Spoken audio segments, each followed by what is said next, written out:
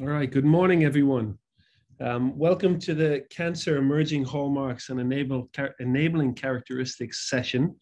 Um, my name is Niall Howlett. I am a professor of cell and molecular biology here at the University of Rhode Island.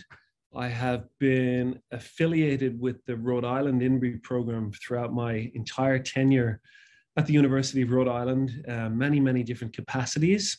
Um, my research program focuses on DNA repair and the maintenance of genome stability. Um, we study this through the lens of a rare disease called Fanconi anemia.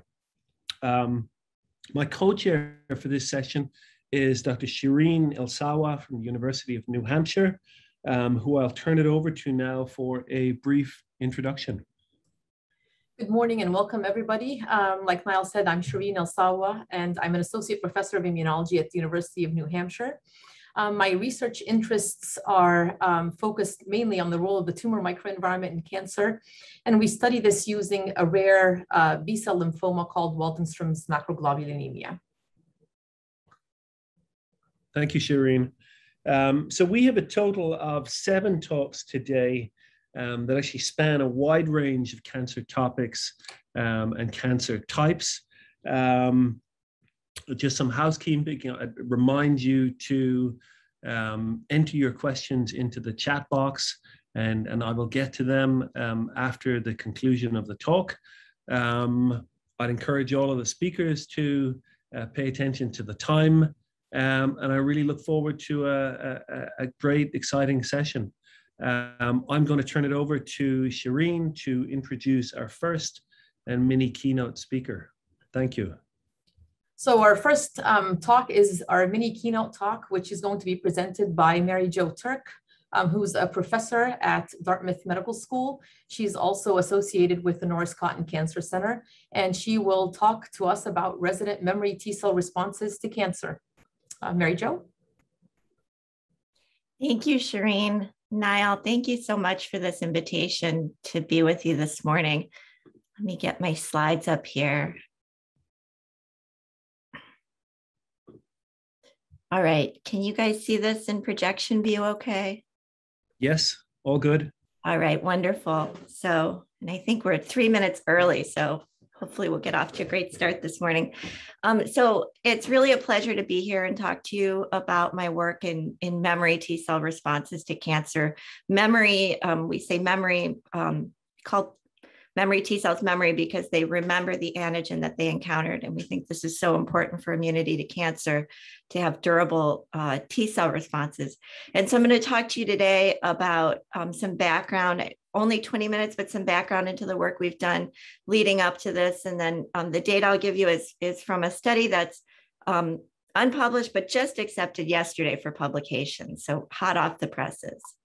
So um, Okay. So really T cell responses to cancer are so critical, we think, because of two features of T cell immunity. And we study CD8 or cytotoxic T cells, but the first feature being uh, longevity. So T cells after their initial priming, this is just in terms of days, um, you get priming of a strong effector response, but then most of these cells die. Um, it's the memory T cells that persist for months to years afterwards.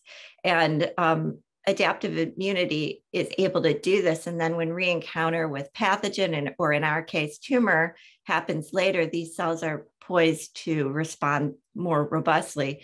Uh, the other feature of memory is it's, uh, uh I'm sorry, of T cells um, that is so important is specificity, that they have a receptor that can specifically recognize tumor antigens. So, really, two critical features of T cells that make them so valuable for their uh, response to cancer. And you can see here memory, these long lived T cells, they're shown in this nice figure as multiple colors, and they're truly heterogeneous. And there are many different ways to break down memory. But um, we uh, separate these populations into two major groups um, based on where they're found.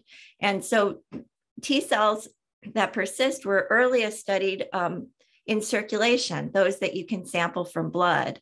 And uh, there are many subsets of T cells, central effector memory, stem like memory, that do recirculate. Um, but more recently, in the last 10, 15 years, it's been shown that populations of memory T cells don't recirculate. They're populations that actually durably reside in tissue.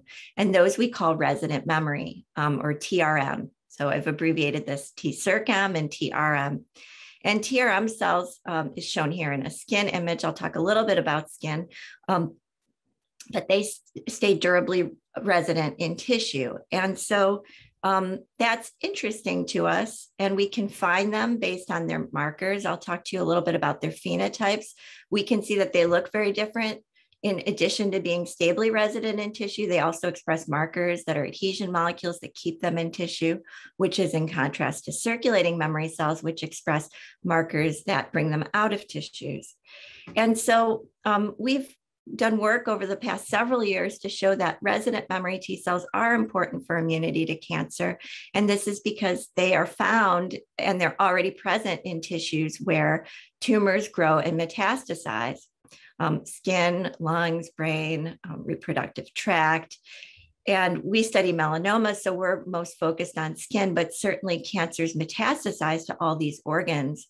So this has really led us to study in my lab the basic question of which of these memory T cell responses, circulating or resident or both, how do they contribute to immunity to cancer? And in the studies I'll be talking to you about today, um, it's important to focus on a model in which you do get durable immune responses to cancer. And a great deal of our work has been done. I'm not going to show um, much human data today, but um, we do work in patients uh, with patient specimens as well. And we work with this phenomenon in melanoma patients called autoimmune vitiligo. So melanoma is a disease of um, cancer of the melanocytes, which are the pigment producing skin cells. And when some patients treated specifically with checkpoint blockade immunotherapies develop really strong immune responses against their melanoma tumors, there's sometimes seen about 20% of the time. Cross reactivity, those T cells don't distinguish between the melanoma and the melanocytes, the pigment producing skin cells um, that gave rise to the tumor. And so you see a condition called autoimmune vitiligo. And this is CD8 T cells coming into the skin and killing melanocytes. And what's really um, fascinating and what one might expect is that patients that have these really robust autoimmune responses in their skin, you can see these are data published a few years ago by another group. These are the patients that had vitiligo, and you can see their survival with melanoma is much better than the patients who got the same immunotherapy but did not get vitiligo. So this model has intrigued us for a number of years. And um, we actually quite serendipitously modeled this in mice um, about 15 years ago when I started my lab. We, we used B16 melanoma, commonly used melanoma model. Um, the therapy that we use is actually depletion of regulatory T cells, and we do that by total CD4 T cell depletion. That's not therapeutic on its own. So we also have to do a surgery to excise the tumor. But with this simple treatment scheme, just simply having regulatory T cells absent for a period of 12 days followed by surgery, uh, about 70% of our mice after that develop this vitiligo, like what's seen in patients. In mice, it, it's grow outgrowth of white fur. Um, I've abbreviated this in some slides as MAV, or which stands for melanoma associated vitiligo. But these mice, their, their CD8 T cells have actually broken tolerance to the antigens on normal melanocytes. And that's why we see this. And um, if we stratify mice based on those that, like I showed in patients, those that got vitiligo versus those that didn't, we still don't know why some do and some don't. Um, something we've been looking at for a long time. But if we take those mice and then at a late memory time point, 60 days after their primary tumor was removed, if we re-challenge those with vitiligo versus those that were unaffected, you can see that those with vitiligo are better protected um, against melanoma rechallenge. This is uh, important to point out. This is a rechallenge in the dermis. So the first tumor is given in the skin, the dermis, and then the rechallenge is done in the dermis as well, and they're protected.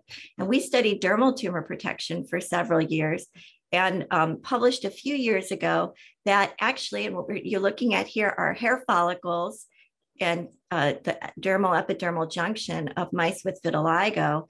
And in yellow are tumor antigen, GP100 is the antigen, tumor antigen specific T cells. These are specific for melanoma, and they go into the hair follicle and the skin, and they persist as resident memory. And we showed that these cells are required for protection against rechallenge in the skin. And in fact, you didn't need to bring cells in from circulation. It was simply the resident memory cells that were already present in the skin that protected those mice.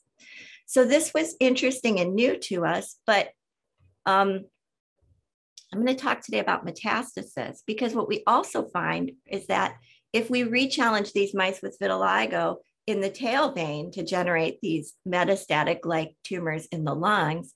In fact, they're protected from that as well. And um, if we rechallenge in the portal vein to give disease in the liver, they're protected in the liver. So it's not just about skin, but it is um, consistent with patients who have uh, protection throughout their bodies against metastatic melanoma.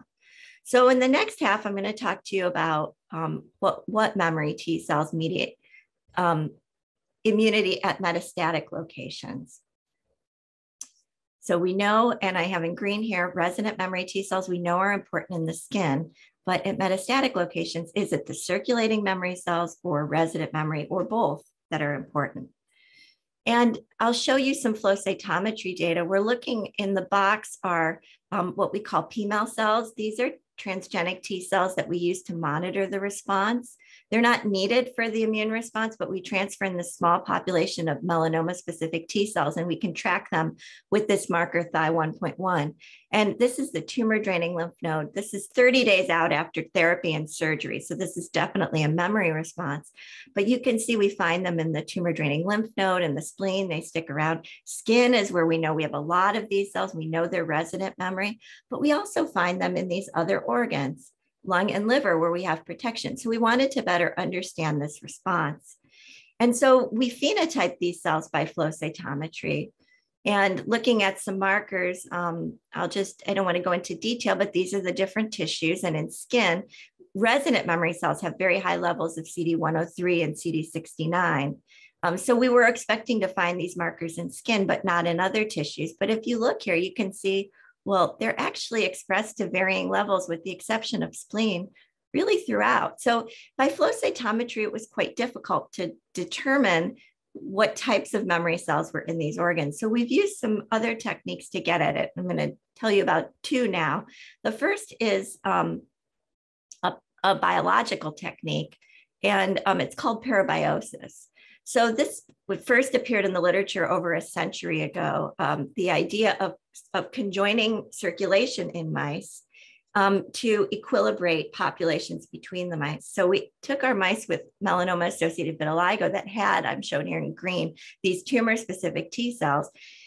And we actually surgically conjoined them for 14 days to join circulation. It's a fairly complex surgery, but it works quite well.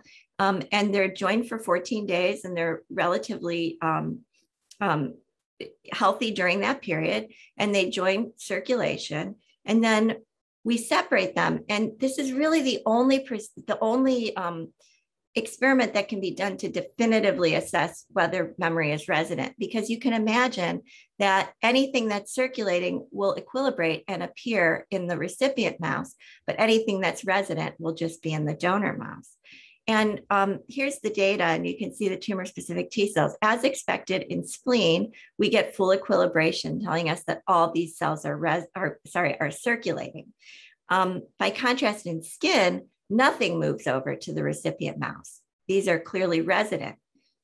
So what we saw in lung was kind of a mixture where we have some equilibration, but it wasn't it wasn't as strong as spleen. So we had a mixture of resident and circulating memory in lung. And but what, really surprised us was when we looked in lymph node, where we expected everything to be circulating. And in fact, what we saw was that lymph node also contained overwhelmingly cells that were resident there that didn't leave that lymph node. And I'll just show you um, in white are these cells. They're present throughout the lymph node. This is a, a lymph node from a mouse with melanoma associated vitiligo. And we've done some work to look more carefully at what differentiates these cells. So um, we've taken mice with vitiligo and we've sorted tumor antigen specific cells from skin, lung, lymph node, liver, and performed single cell RNA sequencing to get really a, a wide view of these cells. And what I'll show you here is um, the UMAP. So looking at these cells, cells that are more closely clustered together are transcriptionally more similar. Those that are broken apart are more distinct. But I've colored this by tissue of origin. So this was a clonal population of tumor specific T cells that went to different organs. And you can see that really their transcriptional profile is dictated by the tissue to which they arrived and where they resided as memory.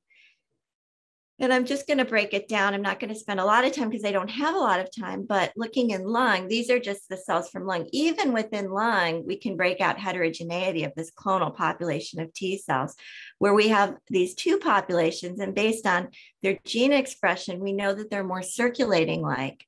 And these are the dominant populations in lung. But in lung, we actually have this small population of cells that has a very resident transcriptional profile. Whereas in lymph node, it was the opposite. This tiny population here had more circulating like transcriptional profile, where a majority of these cells, as we saw with the parabiosis data, as we would expect, were more resonant like in their gene expression. And I'll just point out one of these populations has a signature of responding to type 1 interferons, which was very curious to us. And we're, we don't know where they're getting those signals, and we're looking at that now. Um, but just to st- summarize for a minute, let me check my time here. Um, in lung, we know that we have a dominant population of circulating memory in these mice and a smaller population of resident memory. Whereas in lymph node, it's the opposite, but quite unexpected that most of the tumor specific T cells don't leave this lymph node. And um, we weren't really thinking of the lymph node as a metastatic site until we saw these data. But in fact, lymph nodes are the primary, the, the earliest site of metastasis for most solid cancers. So we kind of changed our thinking to ask, well, what about lymph node? Might lymph node also be protected against tumor? And B16 melanoma, those of you who know it know it doesn't spontaneously metastasize to lymph node. Um, so what we did was we artificially made it go there by just directly doing an injection into the lymph node. And that works quite well. This is in naive B6 mice. You can see seeding of the B16 cells imaged here in luciferase in the lymph node that they were in injected in. Um, but vitiligo affected mice, actually, as one might expect, because they have these robust T cell populations in lymph node, are quite well protected. Um, and if we deplete, this is untreated, this is individual mice, they're well protected. If we deplete CD8 T cells, we lose that protection. So we know it's CD8 T cell mediated. So um, the, the last data I'm going to show you is now we know that these mice are protected in lymph node, and we know that the dominant population in lymph node is um, resident memory. But it's hard to conclude just with that, that resident memory is required because it's possible that when you re-challenge on the lymph node or the lung, you know, cells come in from circulation. So to definitively ask which cells were mediating protection in these tissues, um, we conducted parabiosis studies and then re-challenged. So we took mice that had tumor protection and we parabiosed them to naive mice for 14 days. So that would pass along um, circulating memory, but the original donor mice would have resident and circulating. So we have these two compartments separated. And then we re-challenge either intravenous for lung metastases or directly into the lymph node, and we track tumor growth. So I'll first show you the IV re-challenge, and then I'll show you the intranodal. So here's naive, just mice control. You can see they got lung, B16 lung metastases, and the mice with vitiligo um, are well protected. Now, these are the mice that had been parabiosed for 14 days. So they acquired the circulating memory from these mice, but not the resident memory. And as we look at across experiments, they're actually really well protected. So we could conclude that actually circulating memory T cells are sufficient for tumor protection in the lungs. Now, in the lymph node, we can see tumor growth in the naive controls. Here we have the mice with vitiligo. One didn't get it, uh, um, the tumor. But regardless, if we look at mice that were parabiosed, they are not um, at all protected. So the story is quite different in the lymph node. And as we hypothesized, resident memory T cells are actually required for tumor protection in the lymph nodes. So this really kind of opened our eyes to this new population of T cells that is maintained in lymph nodes. Um, and I'll just show you one more piece of data going back to human before I conclude. Um, we actually took the gene signatures. We have some data I can't show you that we're starting to find these similar cells in lymph nodes of melanoma patients. And we took our mouse gene signatures um, in collaboration with Chao Chang, a computational biologist at Baylor. And we generated signatures that um, were specific to skin resident memory, lung circulating memory, or lymph node resident memory. And then we looked in the, can- the Cancer Genome Atlas at patient um, tumor specimens and tried to find these enriched signatures to look if they were prognostically meaningful. And you can see looking at all melanoma um, data in TCGA, that skin TRM signature, this is with a high signature in red, is somewhat prognostic, as is lymph node TRM, lung circulating memory less so. But what was really interesting was when we only looked at specimens that were lymph node metastases in TCGA. So these are lymph nodes containing metastatic melanoma, you can see there that the signature that performs by far the best is the lymph node resident memory signature. So this suggests to us that this population may also be um, important for immunity to um, cancer in patients as well. And we're following these data up now. But the take home message being that location is important.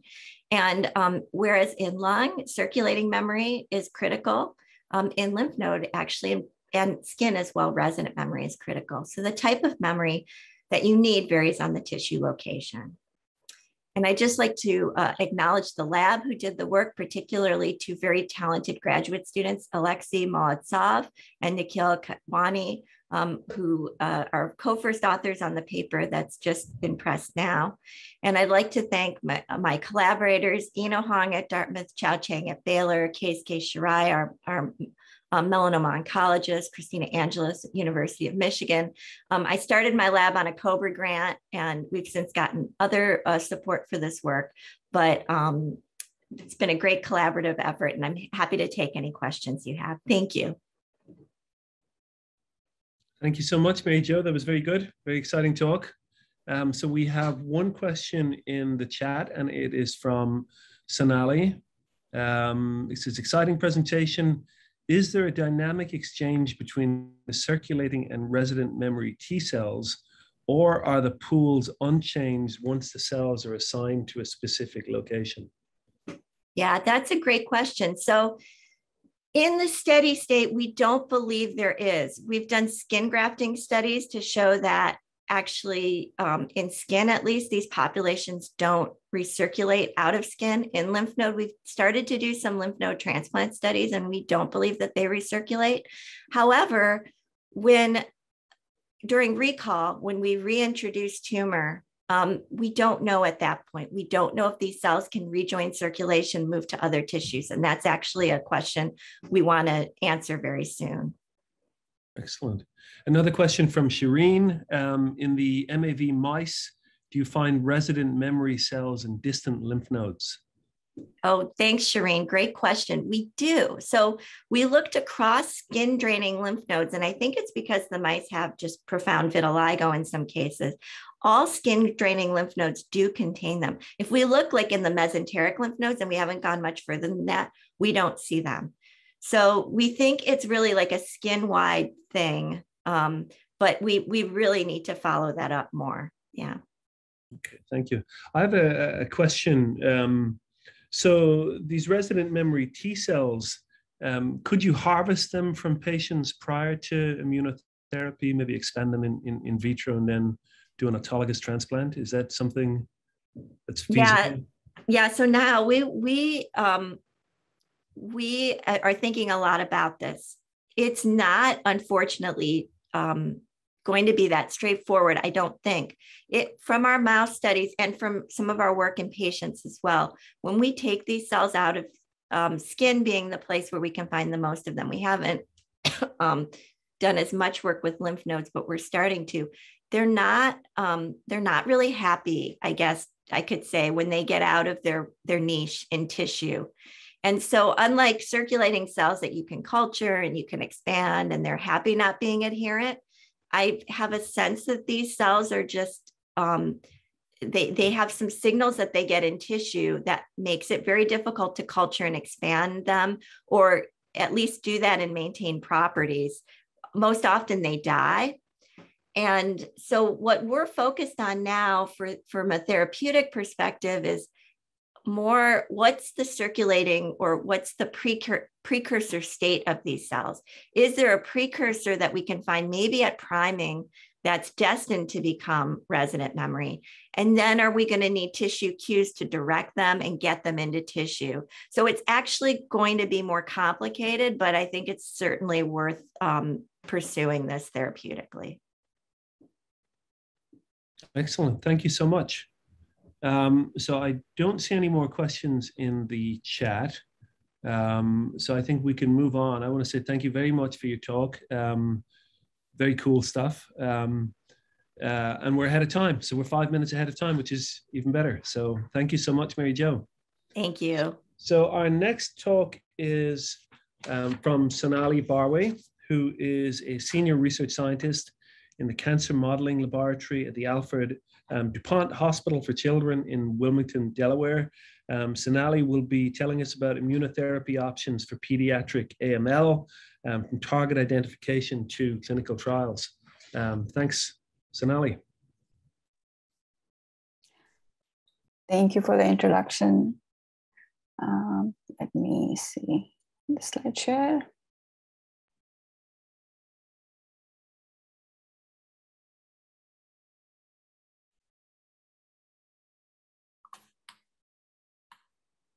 All right.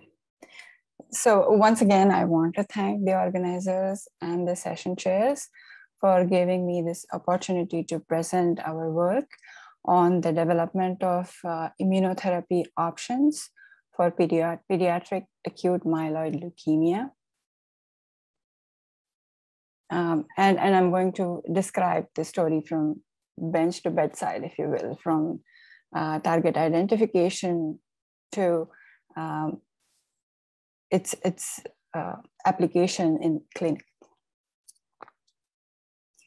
Uh, so, so with our mini keynote speaker, Dr. Turk, giving us uh, uh, jumpstart on the immunotherapy, I just want to quickly uh, reiterate that immunotherapy is now widely recognized as one of the main hold uh, pillars for cancer therapy, in addition to the surgery, radiation, and chemotherapy options that have uh, existed for the past several decades.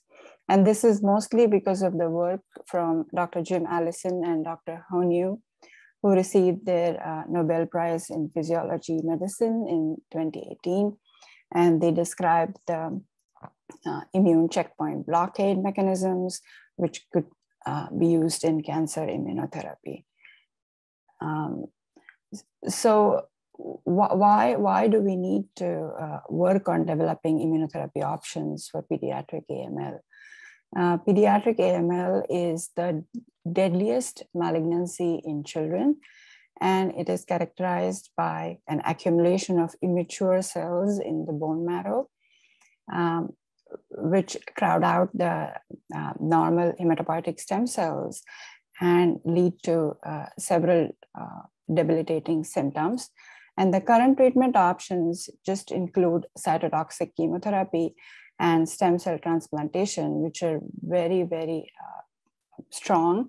And yet the five-year survival rate is only 70%, meaning that upwards of 30% of children with AML tend to relapse. And this relapse is chemo-resistant and they have no other options in with respect to therapy.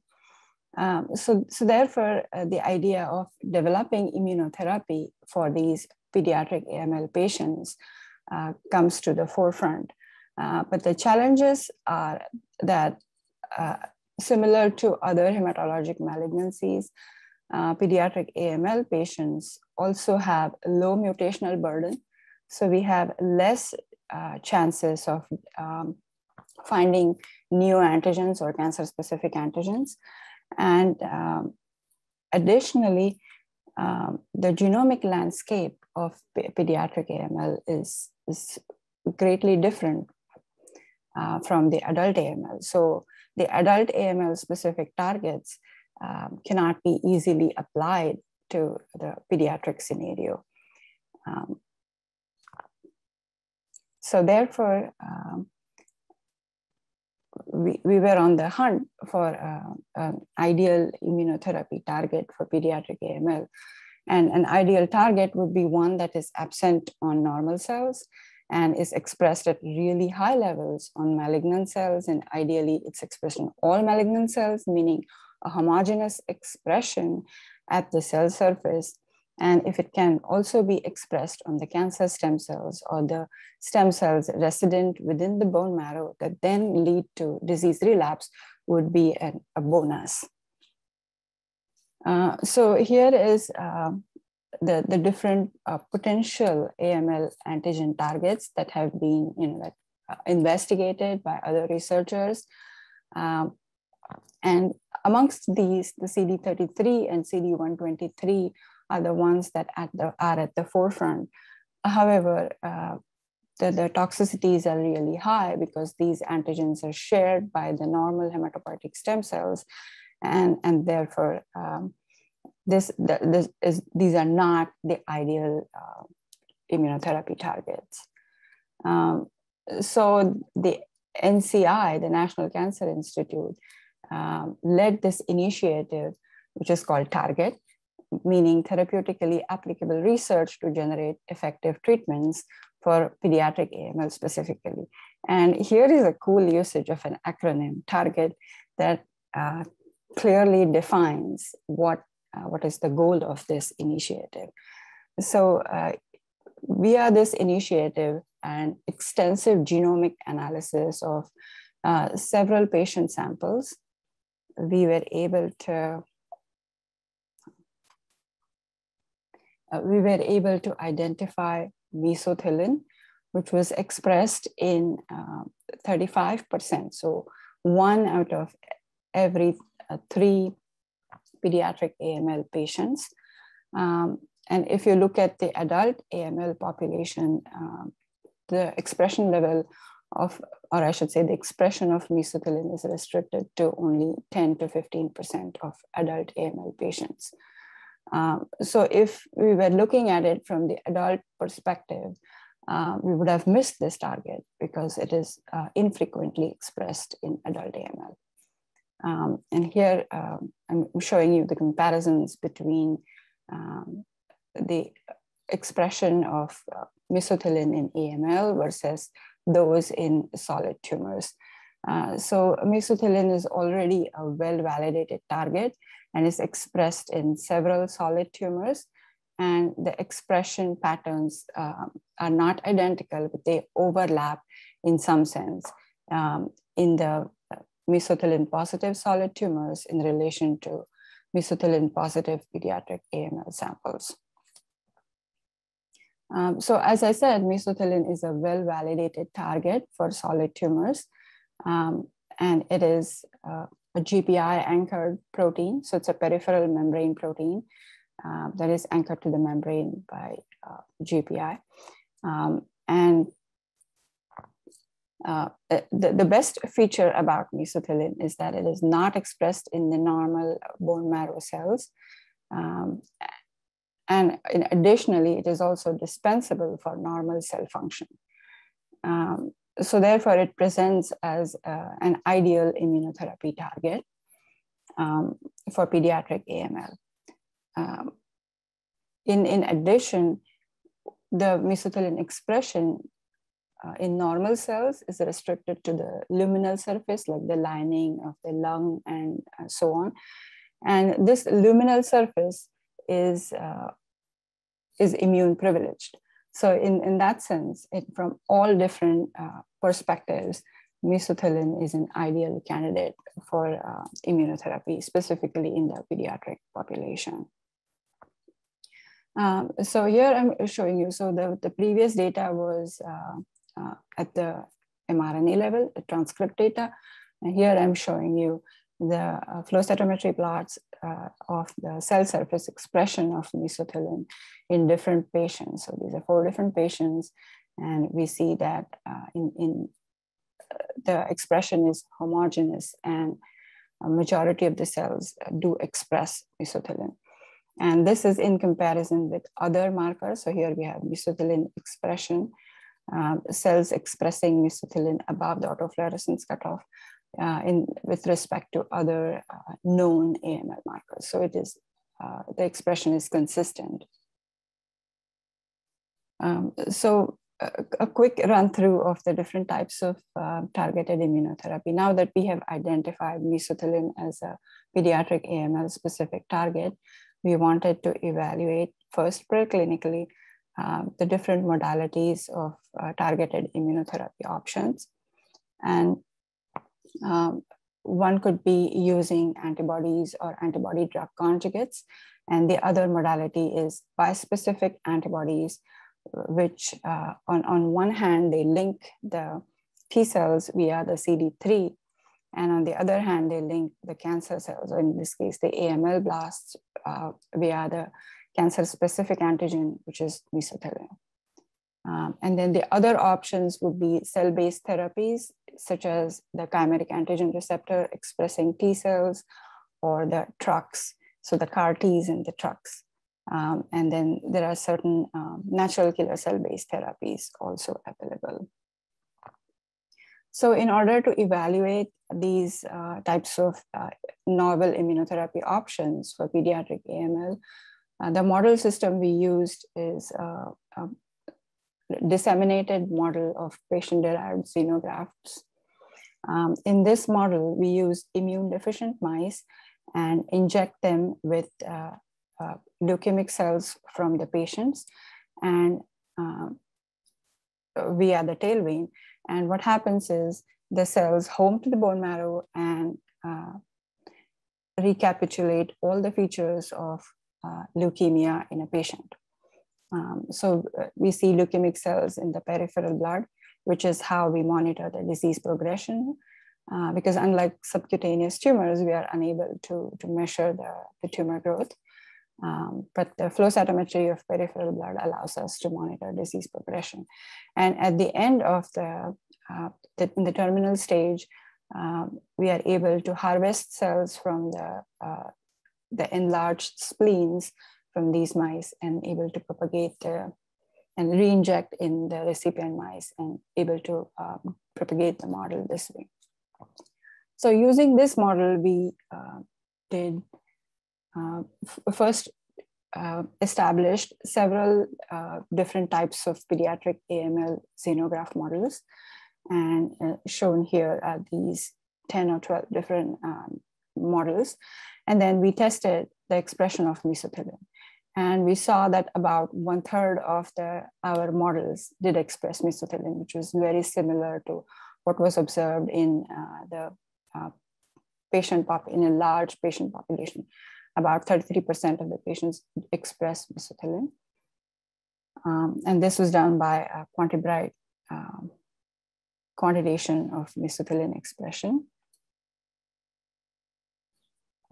So upon confirmation of uh, mesothelin expression, uh, we utilized this antibody drug conjugate, which is uh, already used in the clinic for solid tumors.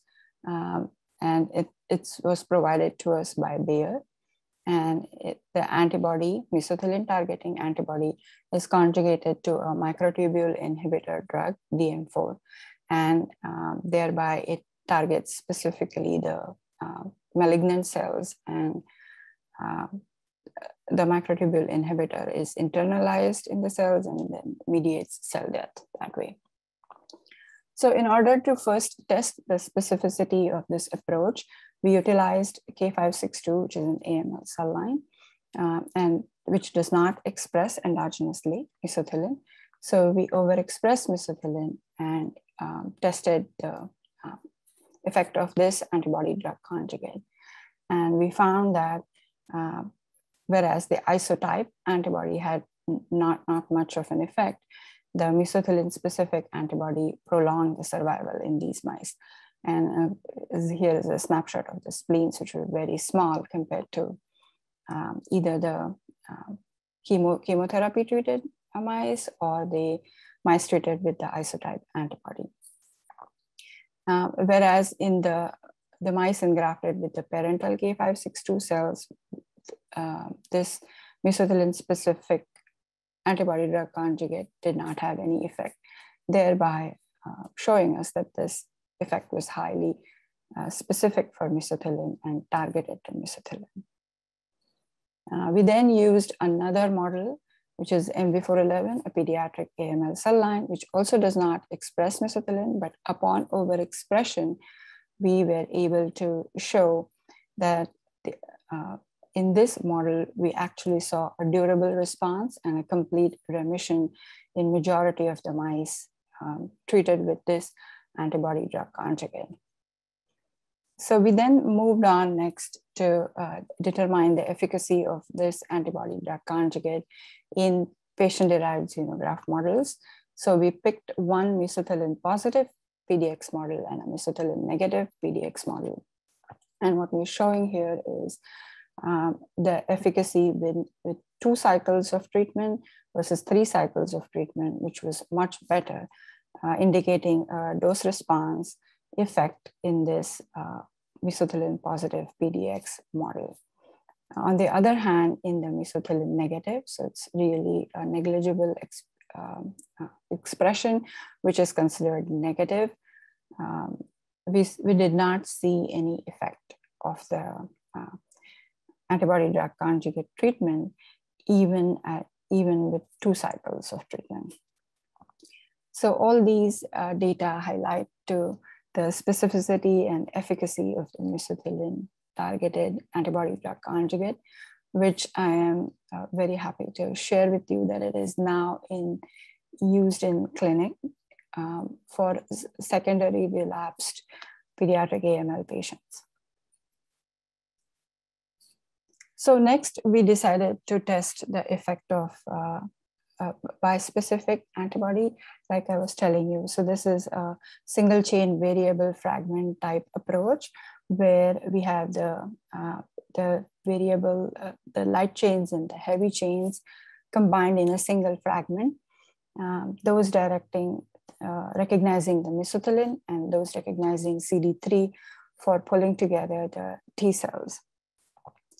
Um, so uh, here is showing that in, in, um, in vitro, using these um, bispecific antibodies, we saw not only that there was cytotoxicity, but also that uh, these cells trigger uh, the, the um, release of cytokines such as IL-2, interferon gamma, and TNF alpha, which is what is observed in uh, when the T cells are now um, uh, activated by these bispecific antibodies. So in vitro, we were able to um, activate the T cells, which functioned as the effector cells, and uh, mediate um, killing of the target cells. So uh, next, we tested these uh, bispecific antibody molecules in, uh, in vivo using our MV411 uh, model expressing mesothelin and those without mesothelin. And here is um, the uh, schematic. So we injected human T cells from a different donor um, to serve as effector cells because as I mentioned previously, these are immune deficient mice, so they do not have any um, uh, functional immune cells, so functional T cells are absent. And so we used human T cells as effector cells. And um, on day one, the T cells and the bispecific antibodies were injected together, followed by uh, five more doses of the bispecific antibodies. And what we see here is that um, in the cell, in the mice receiving um, mesothelin expressing MV411 cells. And with two different uh, bispecific antibodies, we saw that a great reduction in the bone marrow load, whereas in the uh, cells that do not express mesothelin, we did not see this effect.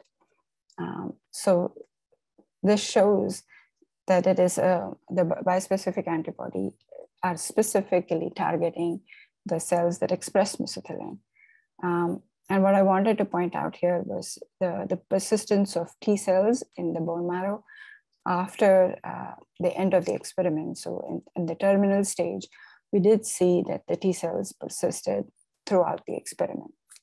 And here I'm showing in immunohistochemistry um, the CD3 staining uh, of, the, of the T cells. So next we evaluated. Hi, Sonali, I have to um, give you, you've a, about a one minute left. We're going to have to um, end it very soon, please. Thank you. Sure, sure. I'm almost done. So we next evaluated this in uh, patient-derived xenograft model. And I'm just showing you that it is, uh, uh, it had a very high durable response. And in, in a second model, also we, we actually saw a complete response with uh, reduced bone marrow load and persistence of T cells in this model as well. So that brings speakers. Hello. Yeah, so that brings us to uh, what, what is the function of mesothelin? And it is very likely that the mesothelin is related to uh, the extramedullary disease. So meaning because mesothelin is a cell adhesion molecule, so it promotes the extramedullary disease characteristics. And here we're showing that um, the high level expression of mesothelin leads to uh, increased engraftment rate of these uh, cells that express mesothelin. So in summary, we've identified mesothelin as a new pediatric AML immunotherapy target. And uh, I've shown you data uh, for mesothelin targeting approaches using antibody drug conjugate, bispecific antibodies, and um, we are investigating the uh, function of mesothelin expression and its relation to extramedullary disease.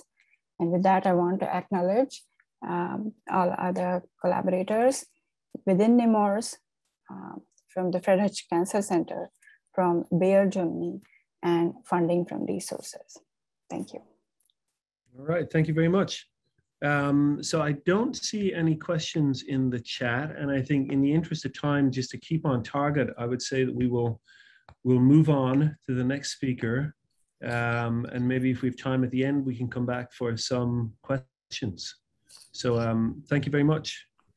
So I'll turn it over to Shireen to introduce our next speaker.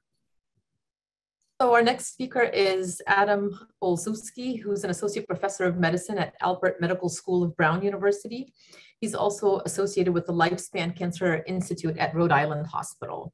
And Adam is going to talk to us about molecular predictors of central nervous system recurrence in aggressive lymphomas. Adam? Uh, thank you very much, Reen. Um, welcome, everyone. I'll share my screen here if successful.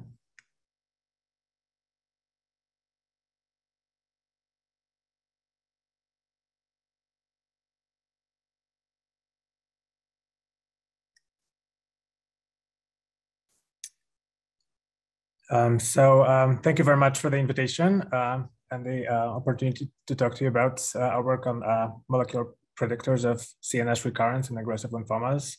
Um, I'm a clinical hematologist. I uh, treat lymphomas. And this is a very um, successful area of oncology where uh, over probably two thirds of patients are currently cured using systemic chemotherapy. but there is one somewhat sore point in this um, prospect, uh, which is that a significant proportion of patients uh, experience a central nervous system recurrence, either in the brain uh, or in the cerebrospinal fluid, in the leptomeningeal compartment, as we call it. Uh, this remains a challenge because the currently available therapies do not penetrate well into the CNS and may not eradicate the disease uh, from um, the, this compartment. CNS recurrences occur in about uh, six to five to six percent of diffuse large B cell and Burkitt's lymphomas, and there are some subsets like high-grade B cell lymphomas or so-called double-hit lymphomas where uh, these, this rate can increase up to 30 percent, and altogether probably about a quarter of, of a third of uh, relapses currently are in the CNS. Uh, a CNS relapse in diffuse large B-cell lymphoma or aggressive lymphomas is often associated with a very poor prognosis. Most patients die within two, three months of diagnosis, uh, and the treatments are um, often ineffective. So there's a great interest in preventing it. Um, and we often use uh, the so-called CNS prophylaxis to uh, achieve this uh, by uh, providing intrathecal injections of chemotherapy or high dose systemic chemotherapy with um, sometimes lethal doses of agents that can penetrate into the CNS, like methotrexate, which then can be rescued um, uh, in terms of their effect on other parts of the body.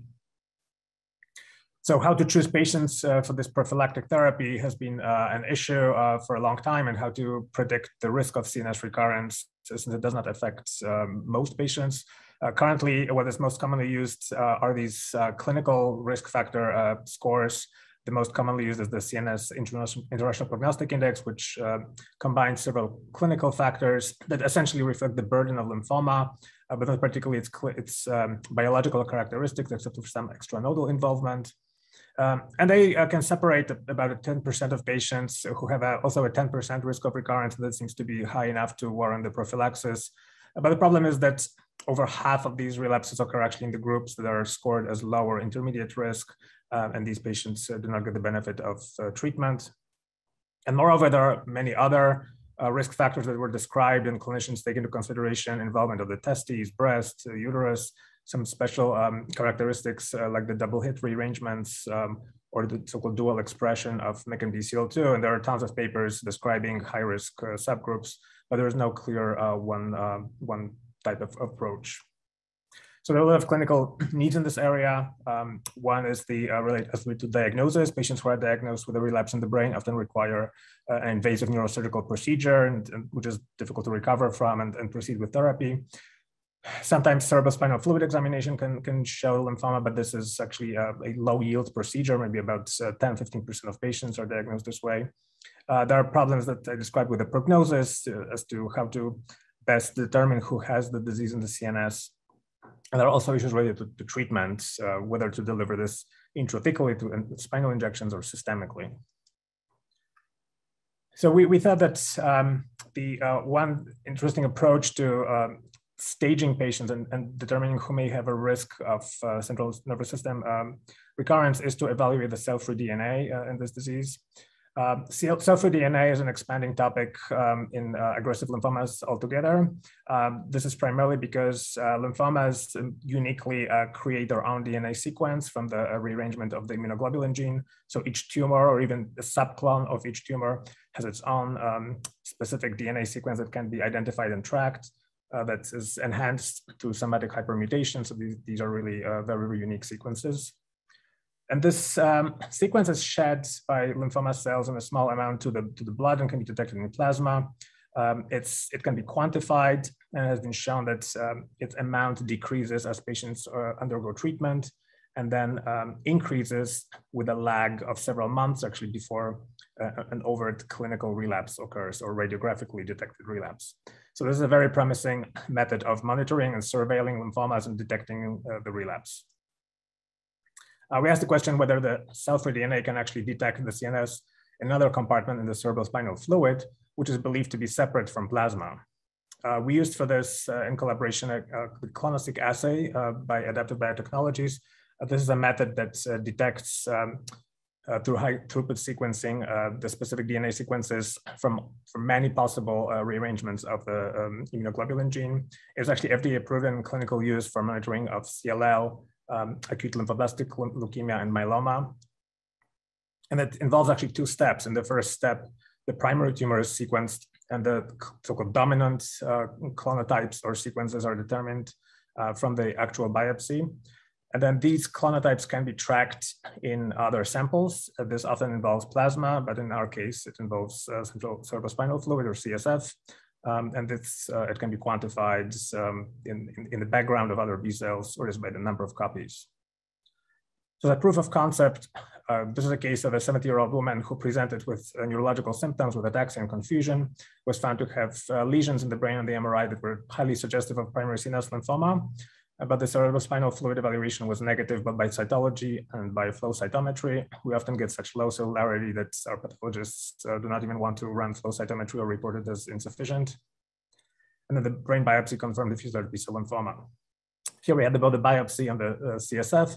So we're able to show that the five dominant sequences, which are coming from different uh, versions of immunoglobulin gene, uh, were detected um, in not in patient's plasma, but in the uh, patient's CSF, both in the fluid fraction and the cellular, cellular fraction. We then evaluated additional um, uh, six patients uh, collected prospectively who had either a brain uh, intraparenchymal brain relapse or leptomeningeal relapse, and as well as eight historical extracts from CSF.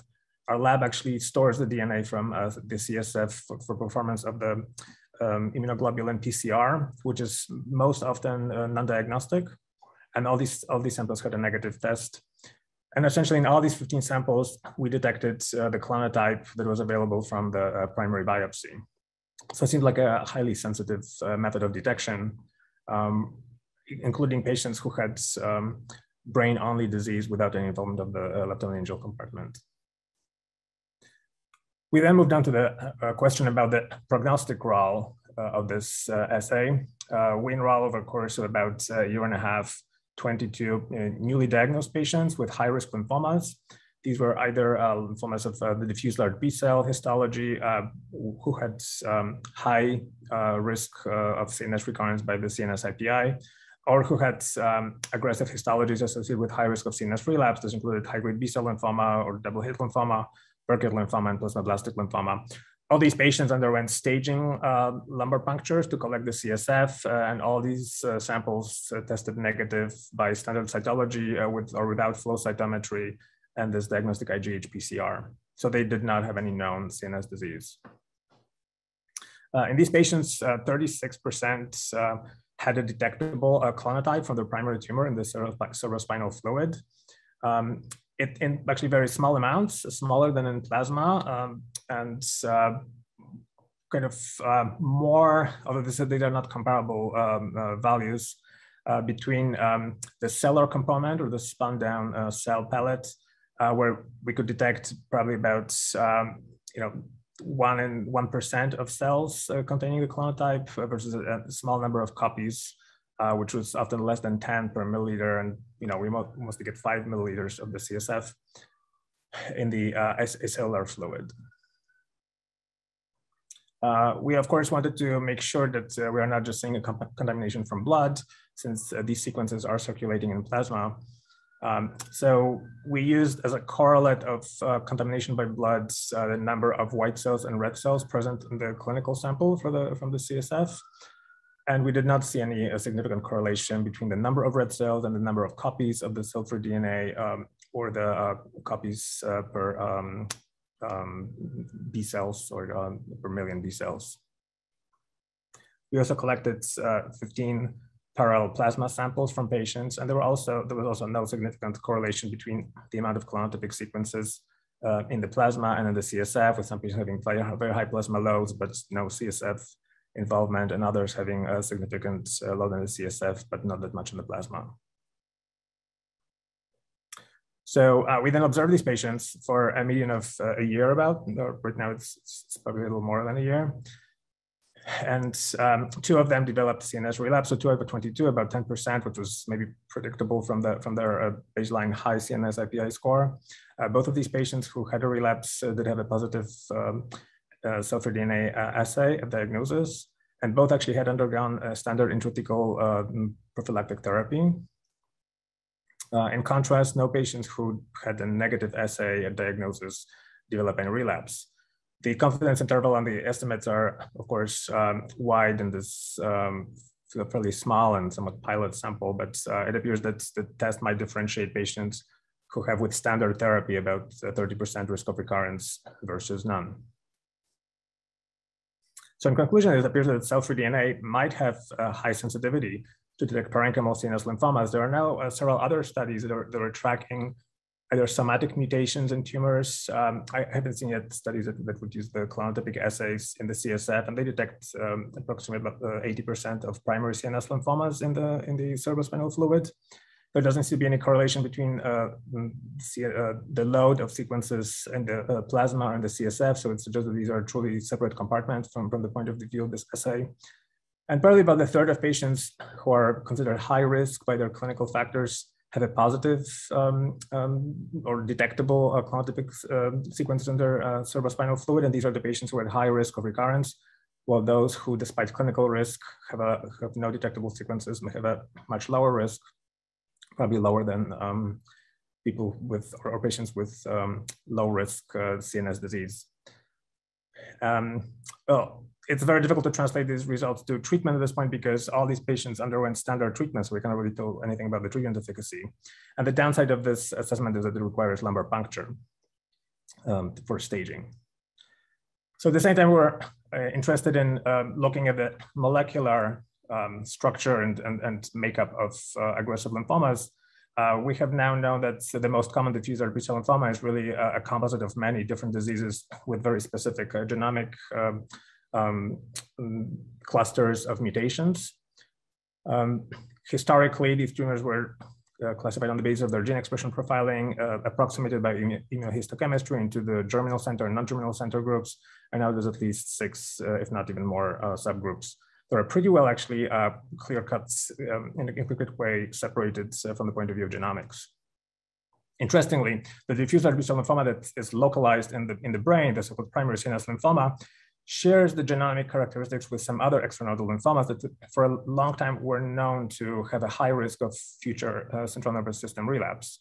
So the lymphomas that are initiate in the testicle, breast, and uterus are known to have a very high risk of future CNS recurrence and are routinely given a CNS prophylaxis, and they actually have very similar genomic makeup to primary CNS lymphoma.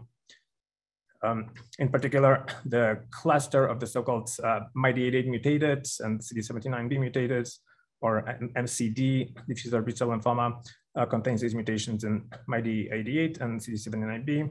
And they also seem to be highly dependent on um, immune evasion with overexpression and amplification of the uh, PDL1, which is a checkpoint uh, molecule. And uh, this cluster is, is, is, a subcluster of the older uh, activated B-cell uh, lymphoma with overall poor prognosis but not all patients obviously develop uh, CNS disease.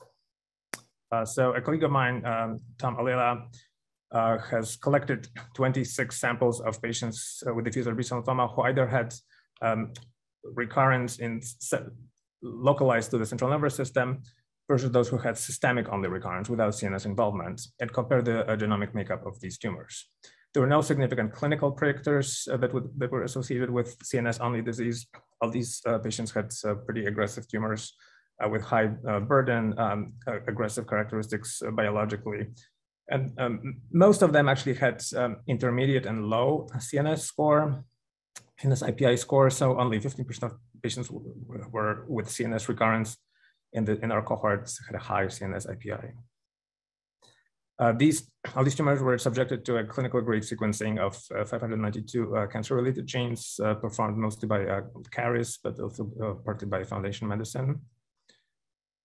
And we then um, observed what were the clusters that were associated with CNS recurrence. we used the, um, um, the so-called LymphGen classifier, which on the basis of mutational panel can classify tumors into several subtypes. Uh, but this classifier often leaves a lot of tumors, probably about half of tumors as unclassifiable. So we also used a, a so-called hierarchical classifier, which was actually developed for this uh, study, uh, focusing on the, this MCD group with MYD8, uh, MYD88 mutation, uh, or some additional mutations uh, from this cluster, and mutations associated with high-grade lymphomas. We observed that the MCD cluster was actually um, more very common in both systemic and CNS relapses, but uh, predominated in the CNS relapses. Uh, the other is probably considered about uh, over 40% uh, of these patients. The other almost half of patients included those who had high-grade B-cell lymphoma, and mostly double-hit lymphomas, or those with, uh, those with p53 mutation. And these lymphomas also had significant risk um, or significant prevalence in the uh, systemic group. So the MCD uh, appeared to be um, significantly increased in the uh, CNS relapse uh, as we uh, hypothesized and expected. we compared this uh, prevalence of the MCD subtype uh, between two comparative data sets, which sequenced large cohorts of patients with unselected diffuse large B-cell lymphoma. So one was from Dana-Farber and one was from British Columbia Cancer Agency.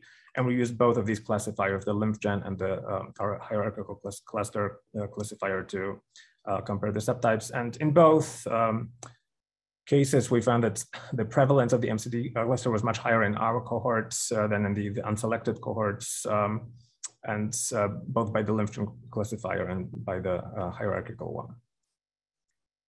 To validate this, we also uh, used two publicly available uh, data sets uh, that actually had recorded uh, the um, presence of CNS recurrence in their patients. So one was a, a 1500 um, patient clinical trial, a so-called Goya trial, which enrolled patients treated with um, standard chemotherapy versus standard chemotherapy with a substitution of uh, a different monoclonal antibody into the so-called R-CHOP. They received the G-CHOP. Uh, and in this very large trial, um, with non-selection bias, only about 12 patients developed CNS relapse. And the MCD cluster was also enriched among these 12 patients, obviously very small data sets. In another uh, 400 uh, sequenced um, diffuse B-cell uh, group, uh, we also observed an increased um, sub, um, prevalence of the MCD subtype, although less pronounced, I have to say, than um, um compared to patients who did not have a CNS relapse. So it appears that the traditional. Uh, Adam, I'm going to give you a time warning. You're at time now, so I'd ask you to, to finish up as soon as you can. Thanks. Uh, I think we, we can uh, replace the uh, older clinical uh, stratification uh, where we use the CNS IPI and various clinical features into a novel molecular stratification to predict risk of CNS relapse. Um, using the high-risk genomic subtype and potentially also staging LP among patients uh, who undergo it based on clinical uh, risk factors. And now can think about translating it into uh, future treatment. This actually is a somewhat sore point because there are multiple studies showing that um, uh, doing the standard uh, CNS prophylaxis is not effective, whether it's given intrathecally or intravenously. Um, this is a very controversial area, but um, our work could potentially be translated into change in treatment where patients at low risk could omit treatment altogether, while those at high risk could undergo actually intensified prophylaxis with more agents that are penetrating into the CNS. So thank you very much um, uh, for the attention, and thank you for my collaborators both on the clinical side and the molecular pathology side and um, in our clinical research office. Thank you, Adam. Great talk. Um, so we have one question from Shireen in the chat, so I can read it. It's um, most uh, MYD88L265P mutations are found in ABC DLBCL. Is that the case in your patient cohort used, or did you use both um, DLBCL subtypes in your analysis? So the, the MC, the uh, MYD88 mutation is actually just only a small subgroup of the uh, ABC tumors. There are many ABC tumors, and the, the cluster associated with MYD88 and CD79B mutations and CDKN2A deletions is only a, a, small subgroup of it, very well defined. Um, the, the, the, the, classification of ABC and GCB tumors is somewhat falling out of favor because it's very um, difficult to reproduce. It requires gene expression profiling, which has never been translated into clinical practice. So I think people will now be most looking at these sm smaller but well-defined genomic subtypes. Um, and um, in our practice, we also don't use gene expression profiling. So all these tumors were classified as ABC on the basis of immunohistochemistry, um, which is known to misclassify over 30% of patients. But yes, they by definition are activated B-cell lymphomas. However, the other group, the high-grade B-cell lymphoma group uh, that also has a high risk of CNS relapse, these are almost strictly germinal-centered uh, tumors with either p53 mutations or MYC rearrangements that are somewhat um, resembling Burkitt lymphoma. Excellent. All right. Thank you very much. Um, so we will move on to our next speaker. Thank you, Adam. Um, so our next speaker is our co-chair, um, Dr. Shireen Ilsawa, uh, who's Associate Professor of Immunology in Department of Molecular, Cellular, and Biomedical Sciences at University of New Hampshire. Um, so Shireen is going to tell us about a novel role for GLI2 malignant B cells and the tumor microenvironment. Thanks, Shireen. Thank you very much.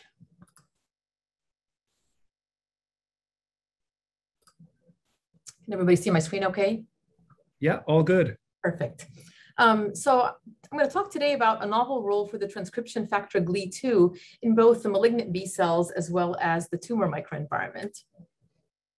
Um, proteins were initially identified as effectors of the hedgehog signaling pathway. And this pathway has the patched receptor, which normally inhibits the smoothened signal transduction subunit in the absence of hedgehog ligand. However, once the ligand binds, this removes the inhibition that patched has on smoothen and allows downstream signaling and ultimately activation of these GLI proteins, which translocate to the nucleus and mediate gene expression. And early studies of this um, signaling pathway um, resulted in a variety of um, uh, molecules that were used in clinical trials, mostly uh, targeting smoothen to inhibit signal transduction. And they didn't really show the promise that we had expected um, in, in, um, in the clinical setting. Uh, one thing I forgot to mention is this pathway is very important in both embryonic development and of course um, has been looked at in a variety of cancers and shown to be over um, activated. Um, so even in the absence of signaling through the smoothened um, uh, subunit, we don't see really a lot of clinical responses. And this is because we know that several other molecules, such as EGF signaling, TGF beta signaling, and CCR3 signaling can also activate GLI independent of signaling from smoothened. There are three members of the GLI family, GLI1, GLI2, and GLI3. These are known as zinc finger transcription factors because they all have the characteristic five zinc finger uh, repeats. Um, they all have a, a transactivation domain, which is shown here in green. And only the GLI2 and GLI3 members have this N-terminal uh, repressor domain, which means GLI2 and GLI3 can act as both transcriptional activators and repressors, while GLI1 only activates transcription. And in the context of hedgehog signaling, GLI1 and 2 are considered activation, activators of the pathway, while GLI3 is typically known as a repressor of hedgehog signaling. Um, our lab has really focused on GLI2. And like I mentioned, you know, initially we knew that hedgehog signaling regulated the activity of GLI2, but now we know that other pathways, including PI3 kinase, EGF signaling can regulate the activity of the protein, while CCL5 signaling through CCR3 and TGF beta signaling through SMADs can regulate the expression of GLI2 and lead to a change in its biological activity.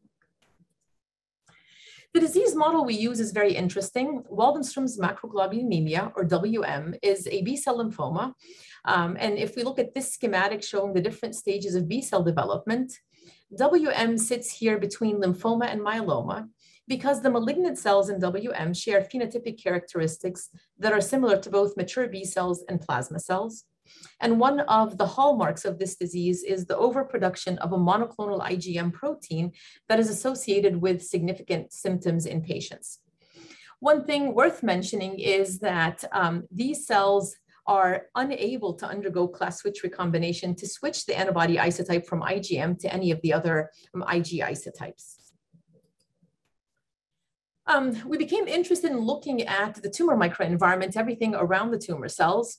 And in the context of the bone marrow, there is um, the acellular components, which includes the cytokine milieu as well as the extracellular matrix. And the cellular components include a variety of immune cells as well as the stromal and endothelial cells. What we focused on is looking at the interaction between bone marrow stromal cells and malignant B cells in WM and the role and the regulation of cytokines and how this affects malignant cell properties. And ultimately, by looking at all these characteristics, our goal is to facilitate the development of novel therapeutic approaches for patients based on a fundamental understanding of the signaling that occurs in the tumor microenvironment and how that affects the malignant cells. So early on, we had published this work looking at CCL5 um, signaling through CCR3, um, PI3 kinase AKT, which ultimately activates NF-kappa B. And this leads to regulation of GLI2 um, mRNA and protein expression. GLI2 then binds and regulates the expression and secretion of IL-6, and IL-6 is well known to play a role in both normal and malignant B cell biology where it regulates Ig production as well as proliferation of these cells. And this is true as well in WM where IL-6 promotes IgM secretion and it also promotes proliferation of these cells. And so our goal was to try and target the interaction between the tumor microenvironment and the malignant cells. And we used tocilizumab, which is an antibody targeting the IL-6 receptor. It binds to it and prevents signaling and also prevents IL-6 from being able to bind to its receptor on the malignant cells. We took immunocompromised mice and we injected them with both tumor cells and stromal cells from bone marrow stromal cells. And um, a week after uh, implanting the tumors, we initiated therapy with tocilizumab every other day for a total period of five weeks. And we evaluated tumor survival as well as um, tumor growth and IgE secretion. There really was no difference in tumor survival, but we did see a difference in uh, a, a, reduction in the tumor growth rate in mice that were treated with tocilizumab. Um, and this was true for both, uh, we had two groups of mice injected with two different cell lines for WM. We do see a difference in, in the way the tumors grow in mice uh, between the two cell lines, and hopefully this represents the heterogeneity that we see um, in, in patients as well. And day 14, we looked at the, the tumor growth rate as well as tumor volume, and we see a significant reduction. And we specifically looked at all day 14 because we had all mice um, still um, alive at that point. When we looked at human IgM secretion in mouse serum, we saw a significant reduction in IgM in one of the two cell lines, two groups of mice injected with these cells. So we saw a reduction in IgM secretion in the BCWM group, but not in the RPCI group. And this variability in response, again, in, in the cell lines may represent the variability that we see in patients. So although we were um, excited that blocking the effects of the tumor microenvironment um, had reduced the, the tumor growth rate, um, the results with IgM secretion was variable. And we wondered if perhaps targeting GLI2 rather than targeting IL-6 would be a better therapeutic option, um, since GLI2 we're showing here targeting IL-6, but we've also shown that it targets other molecules such as CD4D ligand, uh, among others, and those also promote um, malignant cells. So before we could do that, in order to, to target really uh, GLI2, we didn't know what GLI2 did to the malignant cells themselves. And so, so we looked at the role of GLI2 on WM biology. And we approached this by using uh, GLI antagonists, so GANT61, and we looked at treated WM cells with this antagonist, and we found a significant reduction in IgM secretion in vitro um, by these WM cells. However, when we use cyclopamine, which is an inhibitor of smoothened, so this would target hedgehog signaling, we really didn't see an effect on um, IgM secretion. And we took the approach of looking at the effect of GLI inhibition on cytokine receptors for the cytokines that have been shown to regulate um, IgM. And we found here that cells treated with the GLI antagonist um, had reduced IL-6 receptor expression. And we confirmed this by quantitative PCR. And we also used short hairpin RNA to target GLI2 in WM cells and we saw in both a reduction in GLI2 expression as well as a reduction in IL-6 expression. And this also resulted in a reduction in um, IL-6 uh, receptor protein expression. And then we used two different shRNAs targeting GLI2, and we see a reduction in GLI2 expression, a reduction in IL-6 expression, and a reduction in IgM secretion in the culture supernatants of these cells. And finally, um, what we did is we knocked down GLI2 with short hairpin RNA to target GLI2 and then overexpress IL-6 receptor. And we found that overexpression of the IL-6 receptor can rescue the effect of GLI2 loss on IgM secretion in multiple WM cell lines. So at this point, we had shown this with cell lines, but we wanted to use a primary cell model to show that this phenomena was true. And so we used B1 cells from mice as a primary cell model. These cells secrete natural IgM in the absence of any stimulation, and they're found in the pleural and the peritoneal cavities. So we isolated peritoneal cells from mice, and we cultured them in the presence or absence of GLI inhibition using GANT61. We gated first on the lymphocytes, then looked at specifically the B cells, and then looked at both B1 and the B2 populations. And when we look at the B1 cells, we saw a reduction in IL-6 receptor expression in cells that were treated with the GLI inhibitor. This also resulted in a reduction in secretion of IgM by total peritoneal cells in this culture. We then purified the B1A specifically, um, and we found that these B1 cells um, express GLI1, GLI2, and GLI3. And also when we treat them with the GLI antagonist, there was a significant reduction. This was actually below detection levels of the IgM assay. So we, we figured that GLI2 would have a beneficial effect because it targets both the malignant cells as well as the tumor microenvironment. And in terms of the malignant cells, it targets them via regulation of IL-6 receptor. And as I mentioned earlier, IL-6 is known to target um, IgM secretion. But we didn't know what really uh, GLI2 does to normal B cells, the majority of B cells, which are the B2 B cell population. So to better understand that, GLI2 deficient mice are embryonically lethal. So we generated mice with GLI2 um, knockout in B cells using, uh, by crossing GLI2 flox mice with CD19 Cre mice. Um, these mice express Cre, they express the recombined GLI2 allele, and all of them express the flox allele. We didn't see any difference in the overall survival of mice. And their bone marrow populations appeared comparable in both groups of mice. B cell numbers appeared similar also in both groups of mice. And um, B cell development in the spleen appeared comparable, whether we looked at the transitional uh, B cells or the follicular and marginal zone B cells. So it didn't appear that GLI2 had an effect on uh, B cell development. We had expected to see a reduction in IgM levels and were surprised that IgM levels were comparable in both groups, although there was a significant reduction, although very small, in IgG1 levels in the absence of GLI2. But we took out total splenocytes and we stimulated them with lipopolysaccharide just to activate B cells. And in the wild type mice, we saw an induction IgM that was very similar in the absence of GLI2. But when we looked at IgG secretion, we saw a significant increase in IgG, total IgG secretion in the absence of GLI2. And this was surprising because this suggested that GLI2 would negatively um, regulate class switching. Um, and when we looked at different Ig isotypes, we found that this was mediated by IgG1 and not any of the other isotypes when we did this in vivo, the patterns were similar, but not statistically significant. And we're hoping as we build the numbers, we see this more clearly. When we stimulate mice with, um, um, with uh, LPS, IgM levels were comparable, but IgG levels also appeared higher, although this was not statistically significant.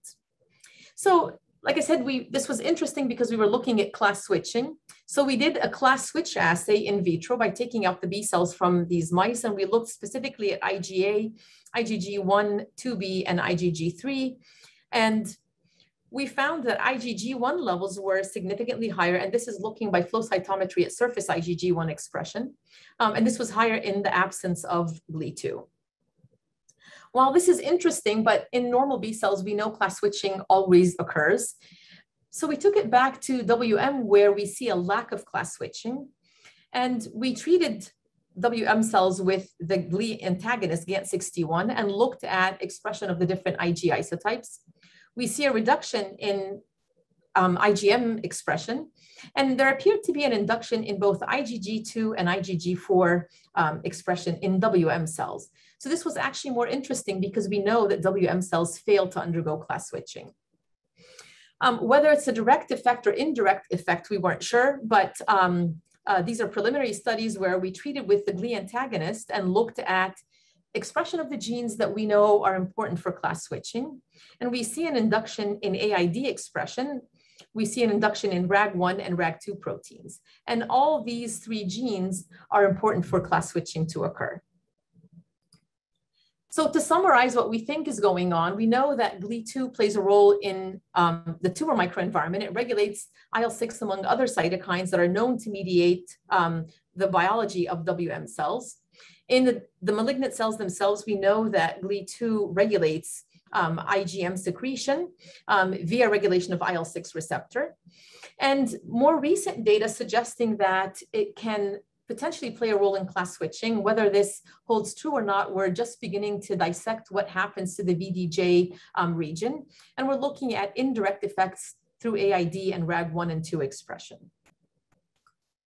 I'm going to stop here um, by acknowledging the variety of folks in the lab, current and past members who have contributed to this project, um, our various collaborators who have helped us in, in different ways, and the various funding agencies.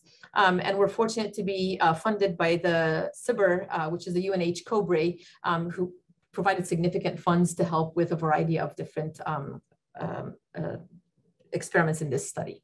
I'd be happy to take questions. All right, thank you very much, Shireen. Great talk. Um, we have a question from Mary Jo.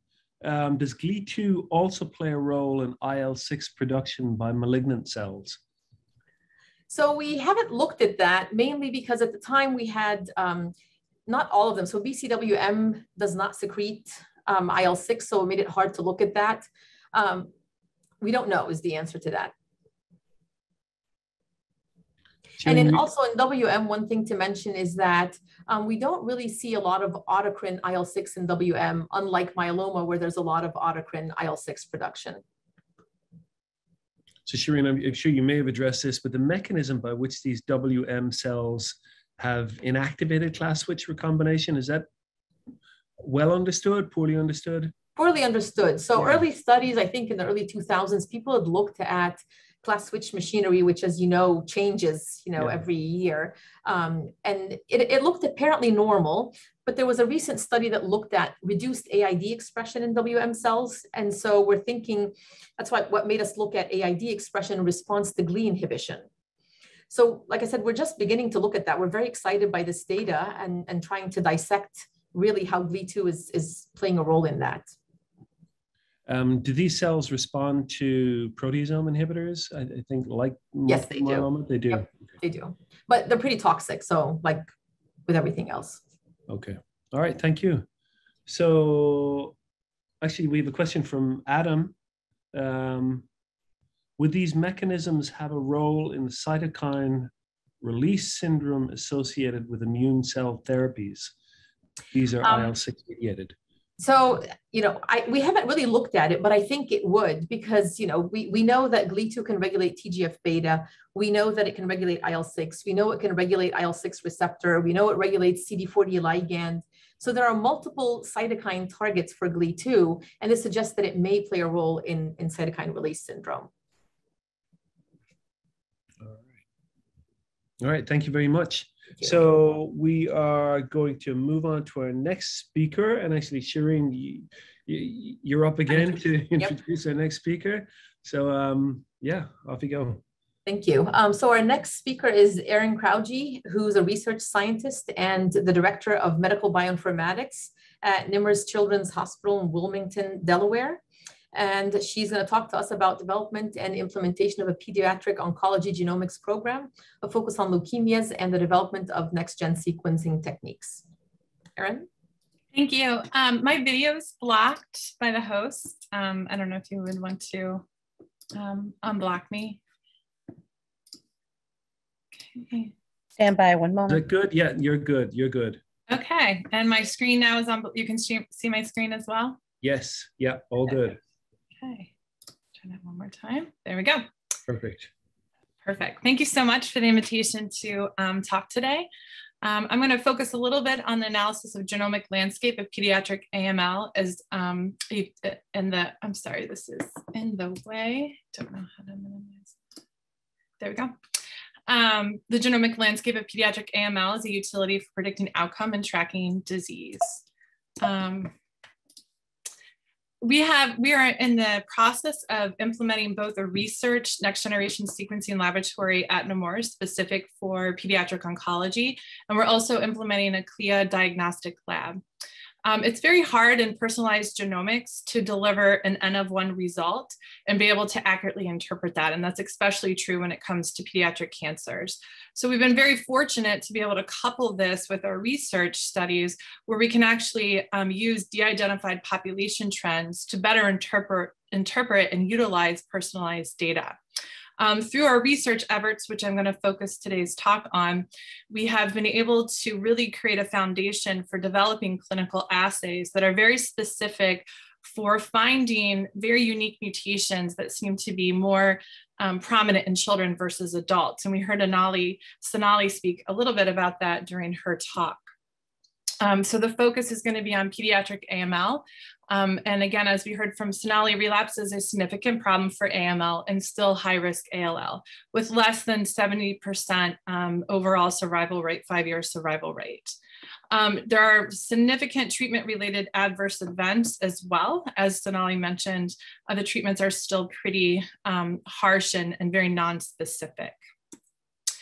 Um, this is one of the major accomplishments that's really come out of foundation medicine and also the target initiative was that the landscape the genomic or somatic landscape of children is very different compared to adults.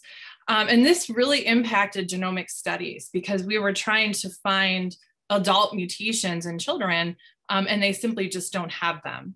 And what you're looking at here is the fusion um, prevalence versus mutations per patient with the fusions in blue and the more single nucleotide or point mutations in green. And there's a strong correlation with age, and these are grouped by age 2, 2 to 10, 10 to 20, and so forth, where you see a really strong prevalence of structural rearrangement. So these are regions of the genome that have significantly rearranged in children, and these decrease with age and with age, in terms of AML, we see an increase of single nucleotide variants. So over time, adults seem to acquire very small mutations, whereas children who have AML um, at a very early stage, and sometimes even born, uh, infant leukemia, born with these very um, abnormal and large genomic rearrangements. Um, so we first set off um, back a long time ago, actually about five years ago, on how to figure out how to improve next generation sequencing um, processes to be able to capture, identify, annotate appropriately these very complex genomic rearrangements. And there's a lot of steps along the way um, in terms of which really can impact how you do the wet bench or the capturing of those molecules, how you align them to the genome, how you detect them, and then ultimately annotate them. And in 2020, we published um, a molecular toolbox paper, which pretty much described the need to have multiple different strategies, both DNA and RNA, to really offer an appropriate diagnostic platform for children that have pediatric AML. Uh, we use a very specialized technique called error correction. Um, this allows us to um, have very low levels of detection um, for both structural variants and also indels. Uh, the study design that we're going to review today um, was actually a clinical trial conducted by the Children's Oncology Group termed AAML 1031. There were 800 unique subjects or children um, enrolled who had um, pediatric AML. Uh, samples were collected at time of diagnosis and remission on every single um, patient. And for those that relapsed, a third sample was collected at time of relapse. Um, because of our previous um, data back in 2020, we really wanted to have a comprehensive next generation sequencing or genomic data set to work with. And with that, we set out to um, collect or generate whole genome sequencing. Uh, we created a, a, very specific panel, um, a DNA panel using anchored multiplex PCR technology. And we also had a hybridization panel um, that we worked with Illumina um, with to create a spe specific for children. Um, we also really needed to be able to analyze the RNA space because again, children have these large structural rearrangements and they're very challenging to detect in DNA with short read sequencing technology. So we created a targeted RNA panel as well um, using anchored multiplex PCR and also bulk sequencing or RNA-seq. Uh, the important part of anchored multiplex PCR, this is a technology that we work with Archer Diagnostics with, is that you only lay down one gene specific primer and you don't actually have to know what the downstream rearrangement is for your um, gene of interest um, because you're only laying down one gene specific primer. Because these gene specific primers have UMIs or unique molecular indexes, you're allowed, you're able to error correct um, and really detect low allelic events. This entire study has resulted in hundreds of terabytes of raw data, hundreds of terabytes of processed data, and millions of data features or variants. Um, so this is really quickly transitioned into a data science project as well in terms of being able to manage, analyze, process, and now um, hopefully interpret and apply some meaning to this wonderful data set. So if we look at residual disease measured by flow cytometry for AML 1031, there is a strong um, a sort of correlation or outcome based on whether or not you're able to clear your disease as measured by flow cytometry and whether or not um, how likely you are to survive. Uh, the blue line represents children who were negative based on flow cytometry residual disease analysis at time of end of induction, where the red line is residual disease positive as measured by flow. By flow. I'm going to abbreviate this from now on as FRD. And so one of the first questions we wanted to ask was, can you use molecular markers as a signature for residual disease. And again, we heard from a previous speaker as well that there are some FDA approved MRD assays out there, but none for pediatric AML. And so when we were pretty, I would say, naive when we started this and thought, well, certainly this makes sense, right? If you can find the DNA marker or a genomic variant, that should correlate well with residual disease. Um, so as a starting point in the DNA, and we noticed really quick, and this has been um, supported by others in literature, that there's not a lot of somatic signature in, in the DNA um, for a single subject. And the graph on the left, what you're looking at is the variant allele frequency at time of diagnosis, end of induction, and relapse. So each line represents a single variant being tracked over time. And not surprising in DNA, we find a lot of diversity at very low levels within the um, hemopoietic stem cell compartment, which is to be expected. But we don't find a lot of classical, what we call V-shaped or variants that are responding to treatment because there's just not a lot of somatic markers within the DNA. However, we have noticed that there is quite a, um, a complexity in germline and rare variants per, um, per these subjects, and these are 720 subjects plotted here in this plot here, where we see some really interesting like NF1, um, the um, the the the uh, the GATA genes and so forth, where they don't actually have somatic mutations, but they have very rare germline events that we think are obviously important um, for understanding pediatric um, AML. So with this, we decided to also focus on RNA. Um, and I can tell you from the DNA project, um, even with driver mutations such as the FLT3 internal tandem duplication, um, which is we find in the DNA, um, when we plot the Kaplan-Meier curves, um, just using a single DNA variant in terms of residual disease, it's not that easy of a relationship. And we strongly believe that it's a combination of variants um, or these markers that need to be used from a molecular standpoint to truly understand um, residual disease. Um, so we focused then on RNA as well. And um, this is data from 682 patients at time of diagnosis. And the first thing that we wanted to do was just simply benchmark our AMP technology against traditional karyotype um, and FISH because if you can't accurately find these fusions at time of diagnosis and you want to track them through a disease course, um, you need to make sure that you're you know, accurately identifying them. Um, and what, what I can say here is that we that we are um, we typically identify um, nearly 100% specificity and sensitivity um, with traditional methods. There's always some outliers, um, and we typically validate those. And generally, the NGS is is um, comes out as being more sensitive, and we have seen that sometimes karyotyping is just missing these low allelic events. Um, in this particular example, which is a very common and well-known fusion event that takes place in children, um, even at time of diagnosis, so independent of residual disease, um, you see a, a, a, huge difference in outcome um, for these children. And this is important as we continue to transition to understanding molecular landscapes and how they can be used to predict or understand outcome. So here's a case study from a child who had flow residual disease at 0.9%.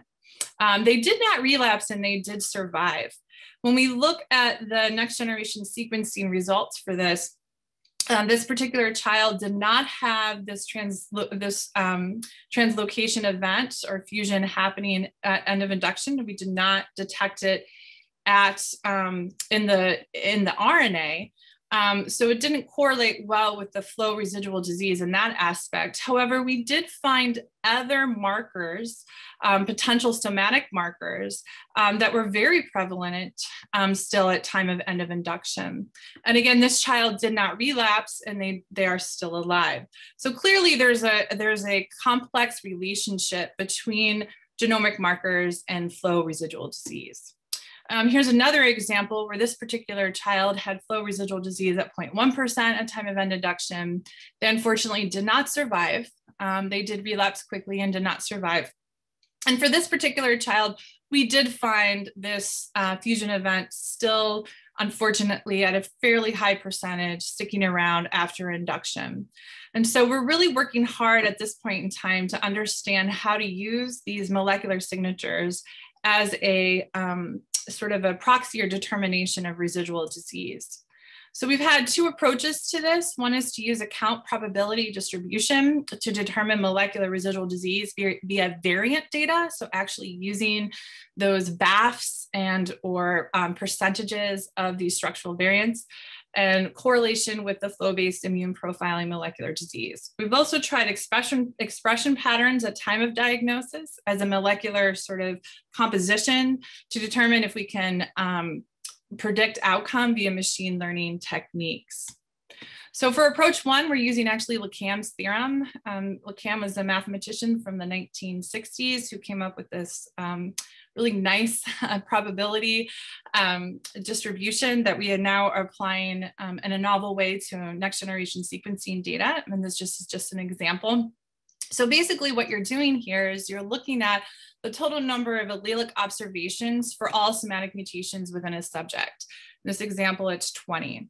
Then you calculate your lambda, which is sort of the sum of the depth of all of those somatic events times the error rate. And error rate is just tells us how noisy that position is, is within the background and next generation sequencing data. And you do this for each variant position within a single subject. And then you take the sum of that, you run then a Poisson test. And from that, you get a p-value and you start to determine whether or not there was enough allelic observations to actually consider this particular patient as residual disease positive or negative. From here, we actually have the um, true values because we were, this is a retrospective study, so we know who survived, we know who had event um, free survival, overall survival, flow data, and so forth. From this, we can generate, uh, calculating our false positives and our false negatives, our ROC curves to determine whether or not how well we're doing at our sensitivity and specificity for calculating residual disease. We've been training now on flow data this is working quite well. Um, there are some limitations within this population, which is why we also wanted to incorporate approach two, um, which is can we predict a time of diagnosis? So independent of what your signature is at end of induction, is there a stronger signature there potentially for determining outcome? And we focused on this because we noticed again that some of these structural variants and complex rearrangements really correlate um, in some ways stronger than residual disease with outcome.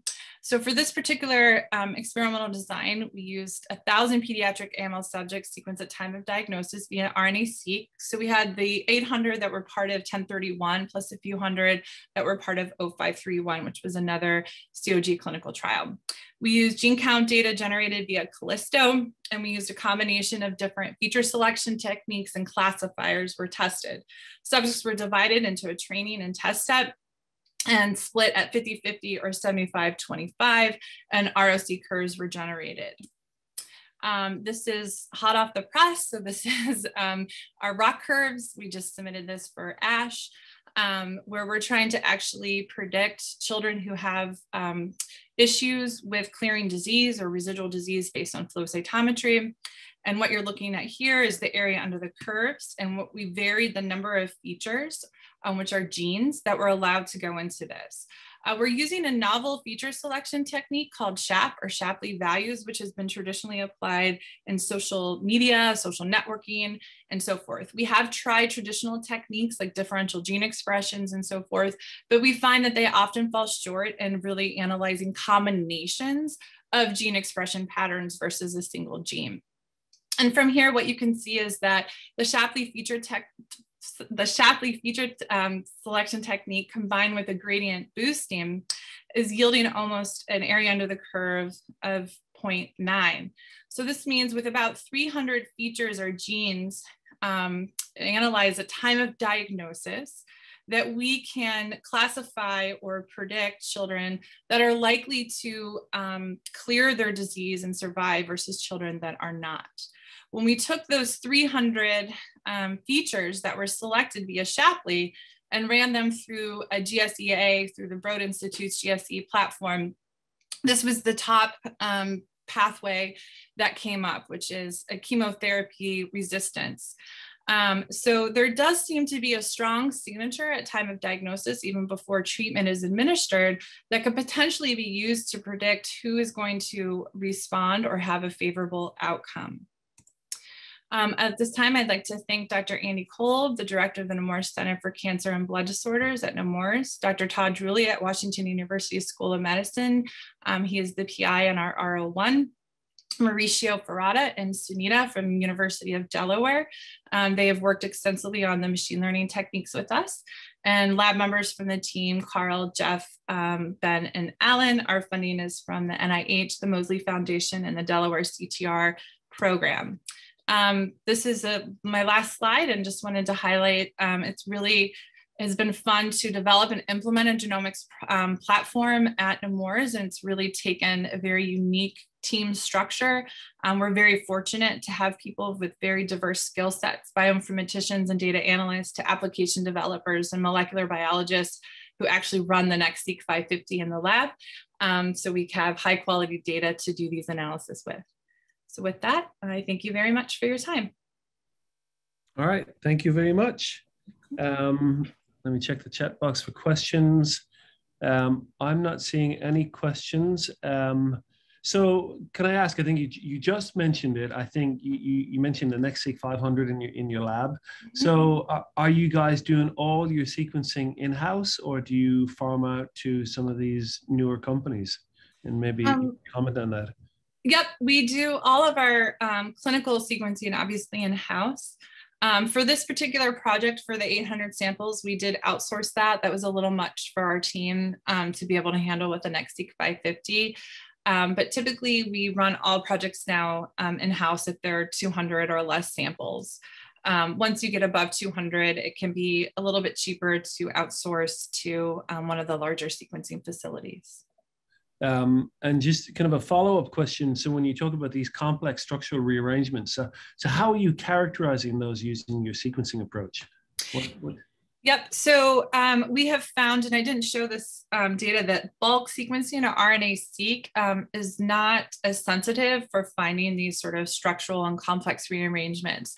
Um, and we've been focusing on the AMP technology, which is the anchored multiplex PCR, um, which which is nice about AMP, and it, it really reminds me um, back in the day when I was doing crop genetics, and you would insert a gene into a into a plant, and you had no idea where it inserted, and so you'd only be able to lay down one gene specific primer, and you would have to keep going through sort of a nested approach to be able to figure out where it inserted into the genome.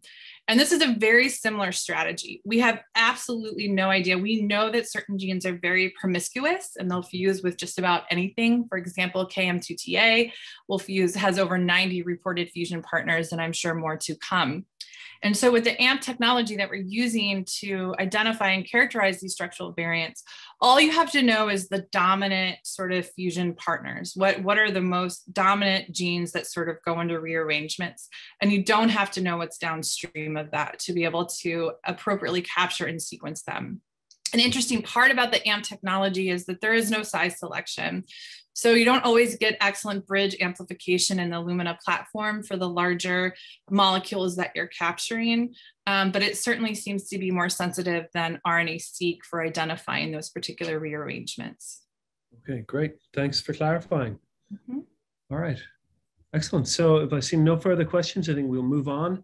Um, Erin, thanks again. Um, our next speaker is um, Sarah Walker, who is an assistant professor in molecular, cellular, and biomedical sciences in University of New Hampshire.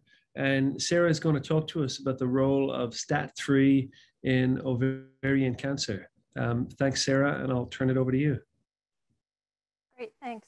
So I, um, can you hear me? I had to change some computers because I've been having some internet issues. Okay, your volume is a little low if, if that can be adjusted, but otherwise we can we can see and hear you. Okay, I'll try to be a little bit louder. I had to change some of my um, my headset wouldn't work with the other one. All right. Okay. Thanks. Okay. So, and I've been having some internet stability issues, but I think this computer should be okay. Sounds good. So just, great. So thanks to the organizers for inviting me to give a talk to you today about the role of STAT3 in ovarian cancer that my lab has been working on for the last few years.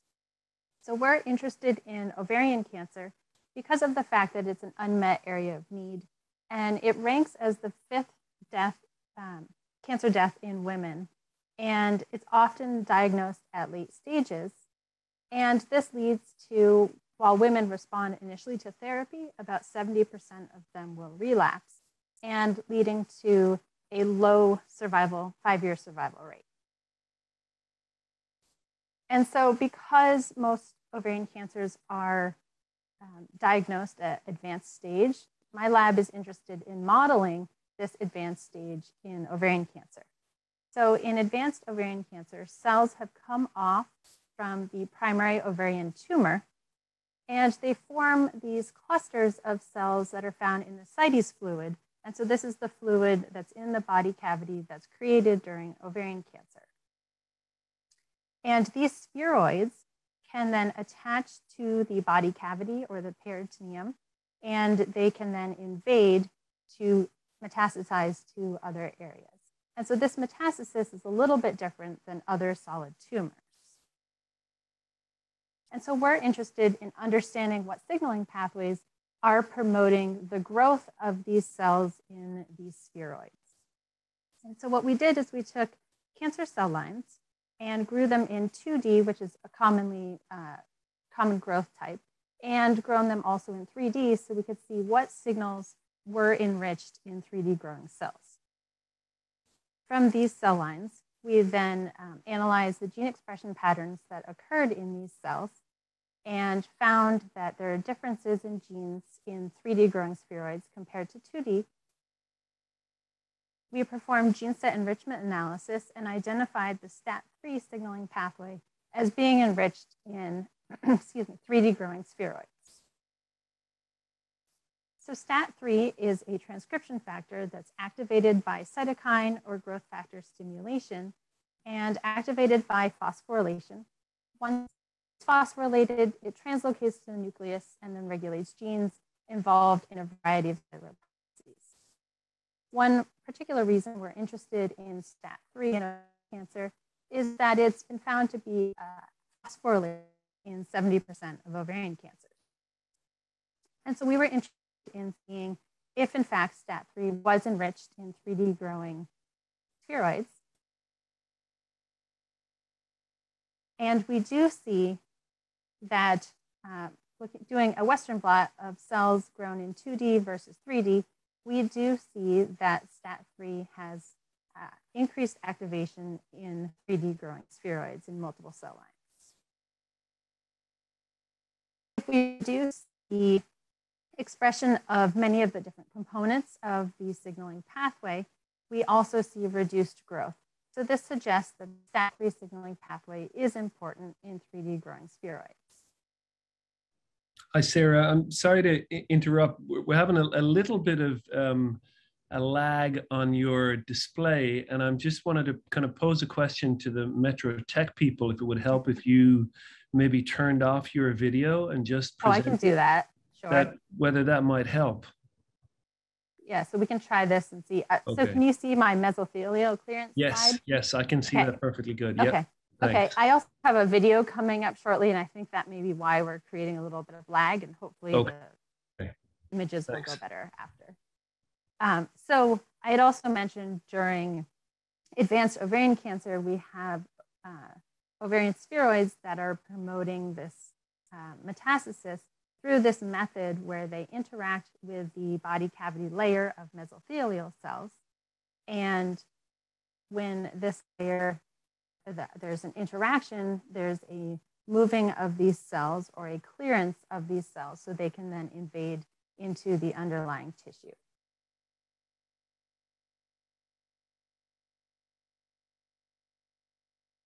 And we can, um, in a mesothelial clearance assay, where we've stained cells and grown our cancer cells as spheroids, cells and grow these at a 2D layer and add these together and then image as they are clearing the layer.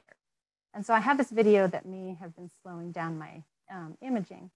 And you can see here during this video on the left that when the cancer cells are interacting with cells, this is clearing layer of mesothelial cells.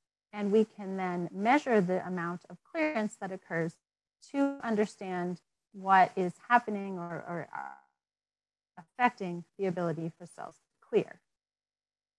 And I have attempted underground reduce the expression of STAT3 with different siRNAs and perform mesothelial clearance, and then found that the reduction of STAT3 uh, significantly reduced the mesothelial clearance, suggesting again that STAT3 is important in mesothelial clearance as well as in spheroid growth.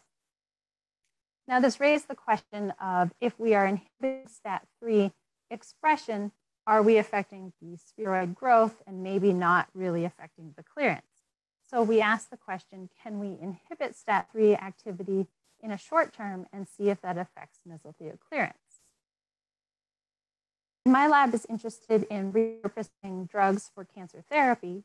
And one of the drugs that we identified is atovaquone that uh, can inhibit STAT3 activity.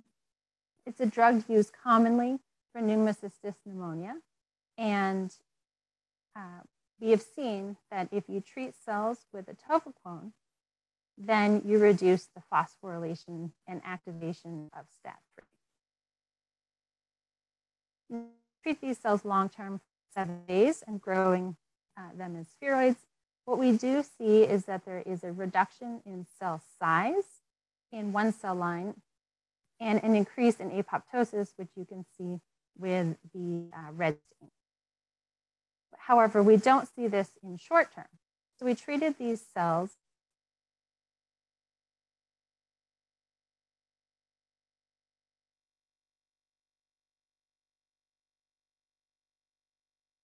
clearance, suggesting that inhibiting STAT3 even for a short term can affect uh, or reduce mesothelial clearance.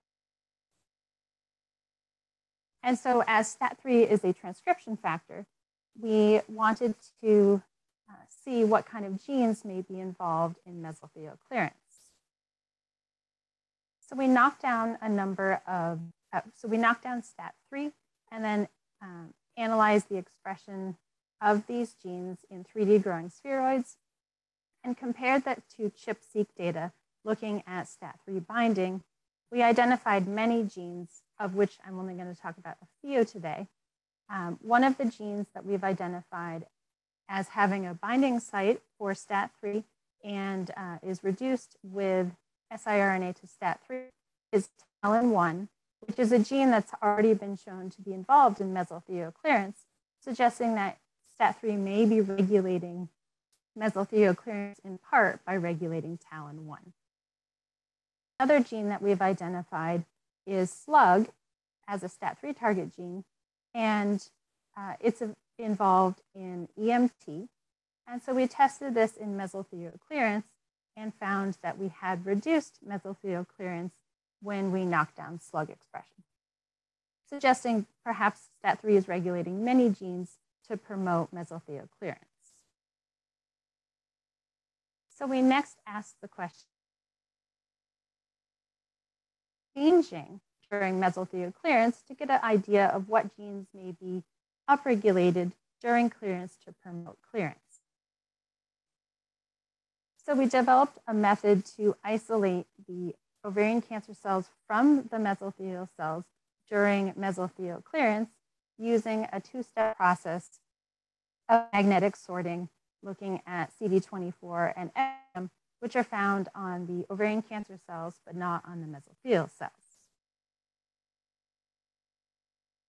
We then isolated our ovarian cancer cells and looked at STAT3 target genes, uh, their expression in our spheroids versus our spheroids undergoing mesothelial clearance. And I'm just showing you one time point here. But what we do see is that there's an increase of many STAT3 target genes when ovarian cancer cells are undergoing mesothelial. Our mesothelial cells would also have an increase in STAT3 while they're undergoing uh, mesothelial clearance as well. However, we did not find genes upregulated associated with STAT3. What we did find was that our mesothelial cells had an increase in IL 6 expression, which IL 6 is one of the cytokines that leads to activation of STAT3. And importantly, we also found additional uh, genes that are associated with NF kappa B that were upregulated in our cells while mesothelial clearance was occurring. So this suggests to us that our ovarian cells may be secreting a factor to activate NF kappa B in our mesothelial cells. So we isolated conditioned media from our 3D growing spheroids and then treated the mesothelial cells with this conditioned media. And we used TNF as a positive control to activate NF kappa B. And what we see is that all of these genes are increased with our conditioned media from ovarian cancer cells. To further this being NF kappa B that is being activated in our mesothelial cells, we treated our cells with an NF kappa B inhibitor Fe117082, and then stimulated with TNF or our conditioned media. And if we inhibited NF kappa B, we've completely inhibited the upregulation of these genes, suggesting that NF kappa B is playing a key role in upregulating these genes in response to conditioned media from our ovarian cancer cells. So this led us to the hypothesis that NF kappa B may be playing a key role in our mesothelial clearance.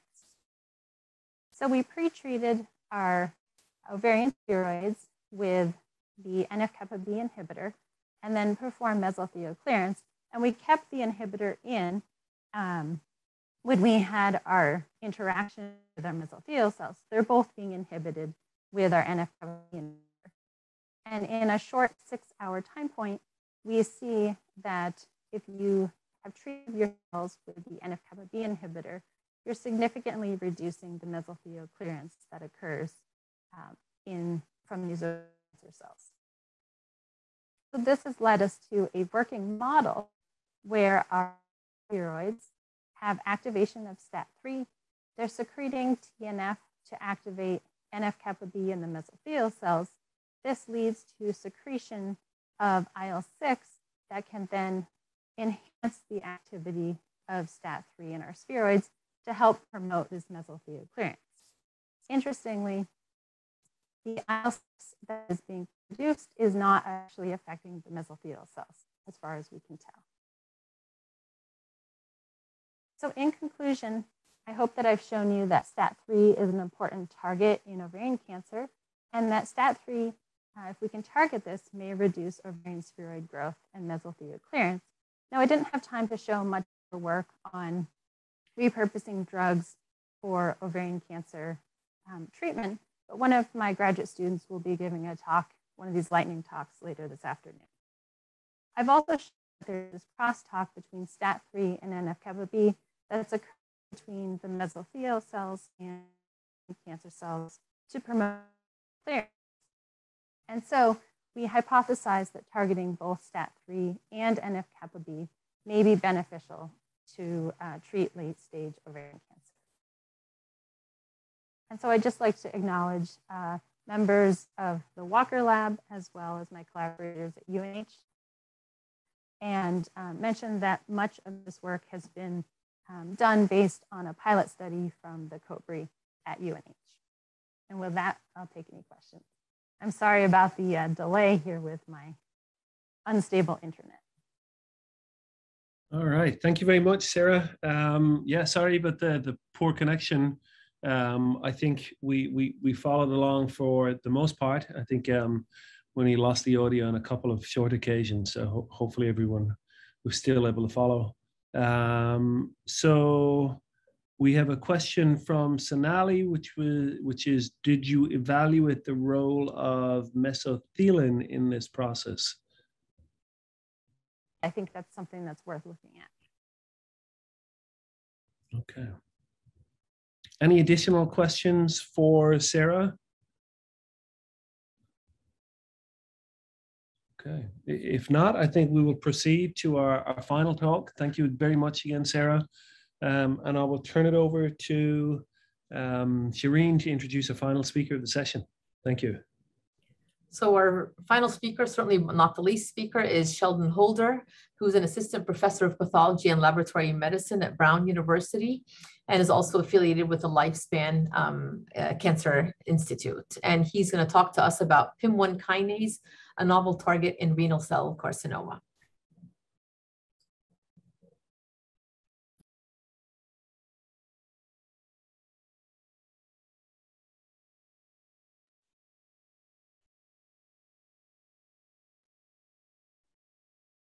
Sheldon, we can't hear you. I don't know if you're muted. Yes, thank you. Sorry, All I forgot to unmute. Is that right. better? All good. All right, good. Uh, thank you for having me. It's a pleasure to be here. And uh, I want to talk to you about an exciting project that's going on in my lab um, here at the Cancer Center at Brown University, um, targeting PIM1 kinase in renal cell carcinoma. Um, I do have to disclose that I have funding from Eli Lilly to um, perform a clinical trial targeting PIM1 in renal cell carcinoma, so that um, funding is a pertinent disclosure for our discussion today. Uh, renal cell carcinoma is the sixth most commonly diagnosed cancer in men in the United States and the ninth most commonly diagnosed in women. Um, but what is even more important to me is that over the last decade or so, the incidence of renal cell carcinoma has been rising. Um, back in 2016, there was an estimated almost 63,000 new cases. And this year, there's estimated to be about 76,000 new cases. Um, so you can see the incidence is rising. And with the rising incidence, although we don't know the reason for it, I think it highlights the fact that we uh, should be concentrating on having better therapies to treat patients with. so I'm showing you here some standard therapies that we use for renal cell carcinoma. So I am a medical oncologist and I do treat patients with renal cell carcinoma. Um, I wanna show this slide for two reasons. One, to show you that there are several FDA approved um, therapies for renal cell carcinoma. So all of these therapies are FDA approved. There are about 16, I believe, on this slide. But the other thing I want to highlight is that all of these therapies can really be divided into two main categories, and that's immunotherapy, which is in the yellow box on your left, and vascular endothelial growth factor or VEGF targeted therapies, which are in the pink box on your right. There are some mTOR targeted therapies, um, but the mTOR pathway is very much related to the VEGF pathway, so one could say it's not really a different uh, pathway, although there is a different target within the pathway. And at the bottom are the newest therapies we're using for renal cell carcinoma in the blue box. These are combination therapies. What you'll notice is that the therapy consists of one drug from the yellow box and one drug from the pink box.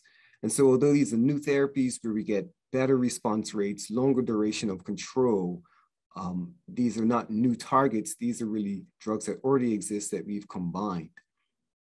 And so what we usually see, although we have multiple agents we can use, none of these agents are curative.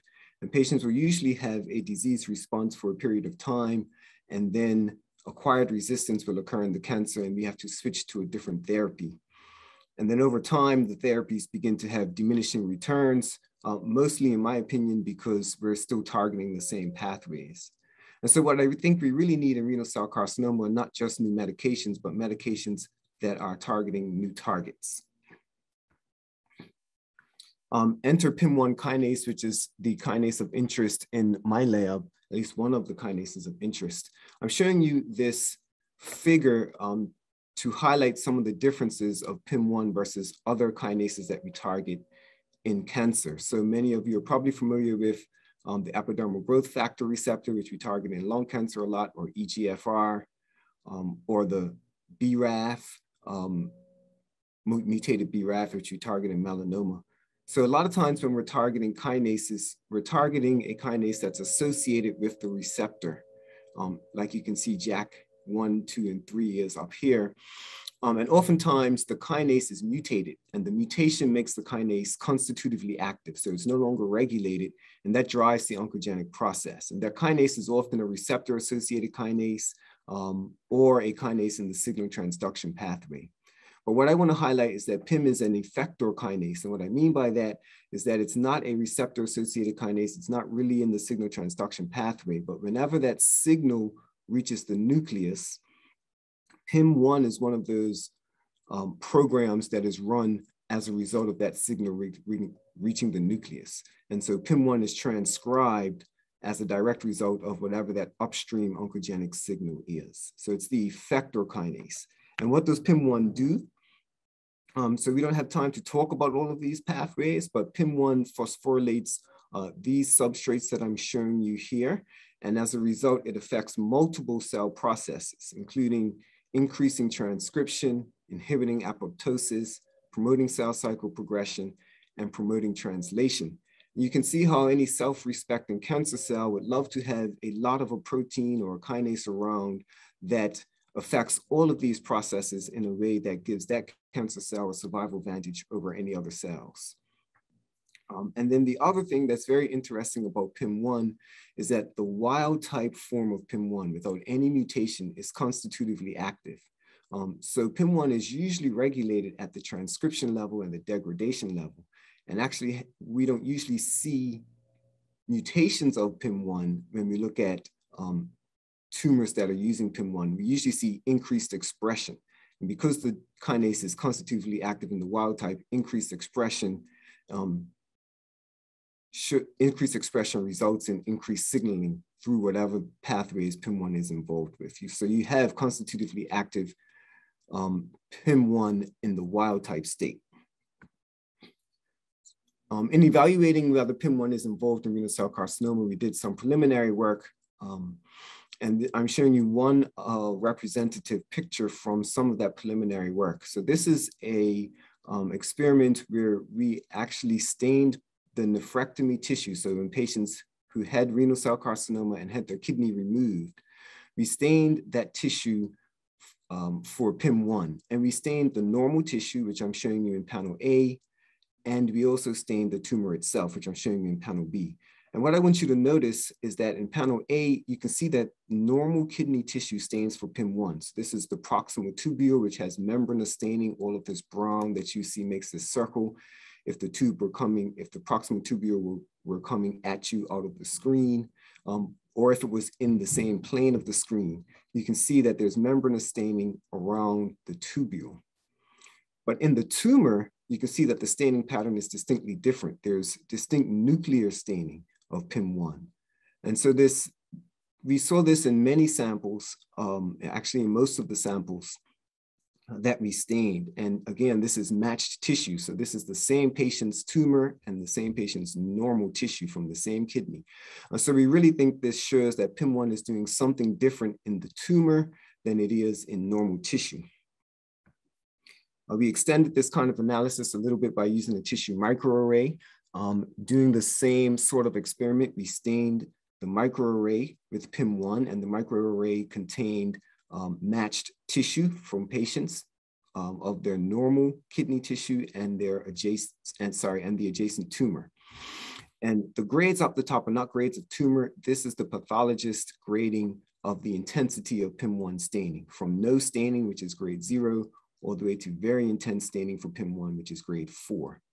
You can see that what we would expect, normal tissue does stain for PIM1 um, at low levels.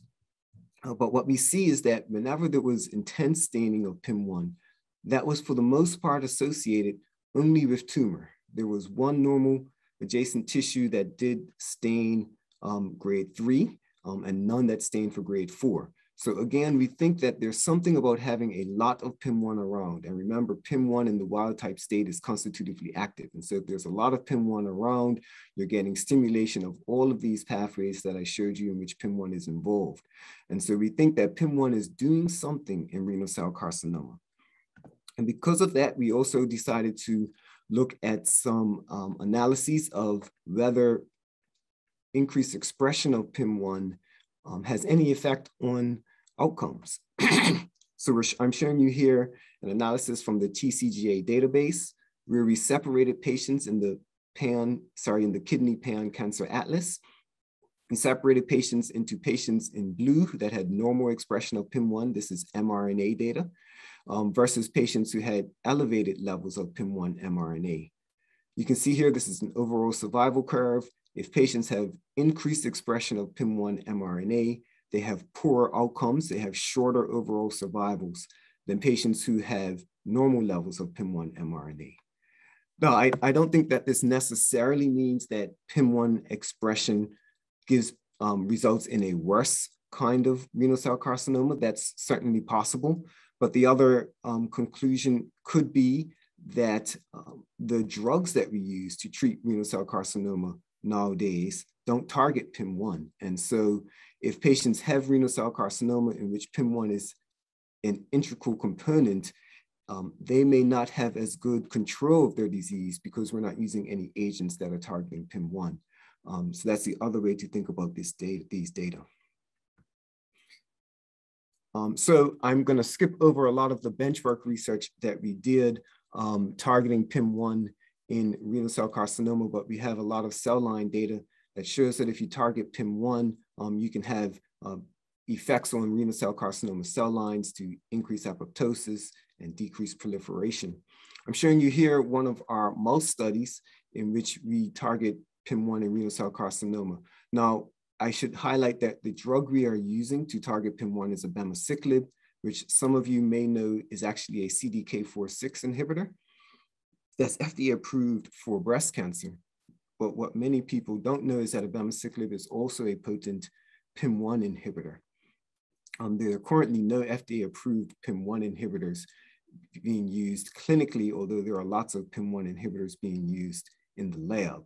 Um, but we wanted to use something that can be used clinically um, so that we can um, so that we can do some clinical trials. And so we're using abemaciclib. And what you can see here, every line represents a mouse. If you treat mice in black with vehicle, the tumors grow over time. This is about a seven week experiment. If you treat mice in yellow with sunitinib, which is standard therapy, it's a VEGF directed um, tyrosine kinase inhibitor, um, you get a varying responses. You get some mice that have shrinkage of tumor over time. Most mice have stabilization of their tumor, neither growing nor shrinking, but kind of just staying the same. We call that stable disease. And then there are some mice who initially have stable disease and then they develop resistance over time. And so that by the end of the experiment, their tumors are growing, although previously their tumors were stable. This actually reflects very well what happens in real life when we treat patients with sunitinib. Um, some will have extended control and shrinkage of their tumor. Most will have stabilization of disease, and then over time will develop resistance. If you treat the mice with abemaciclib, you'll notice that there is a gradual reduction in tumor size for the entire course of the experiment. And if you combine abemaciclib with sunitinib, you'll notice that in most of the mice, there's a very rapid reduction in tumor size. Many of the mice had um, a 50% um, reduction in tumor size or more after only three days of treatment. And then after that initial rapid reduction in tumor size, there's a continued slower reduction in tumor size over time. Um, we after this, we took the mice, these mice that are represented in yellow that were on sunitinib alone.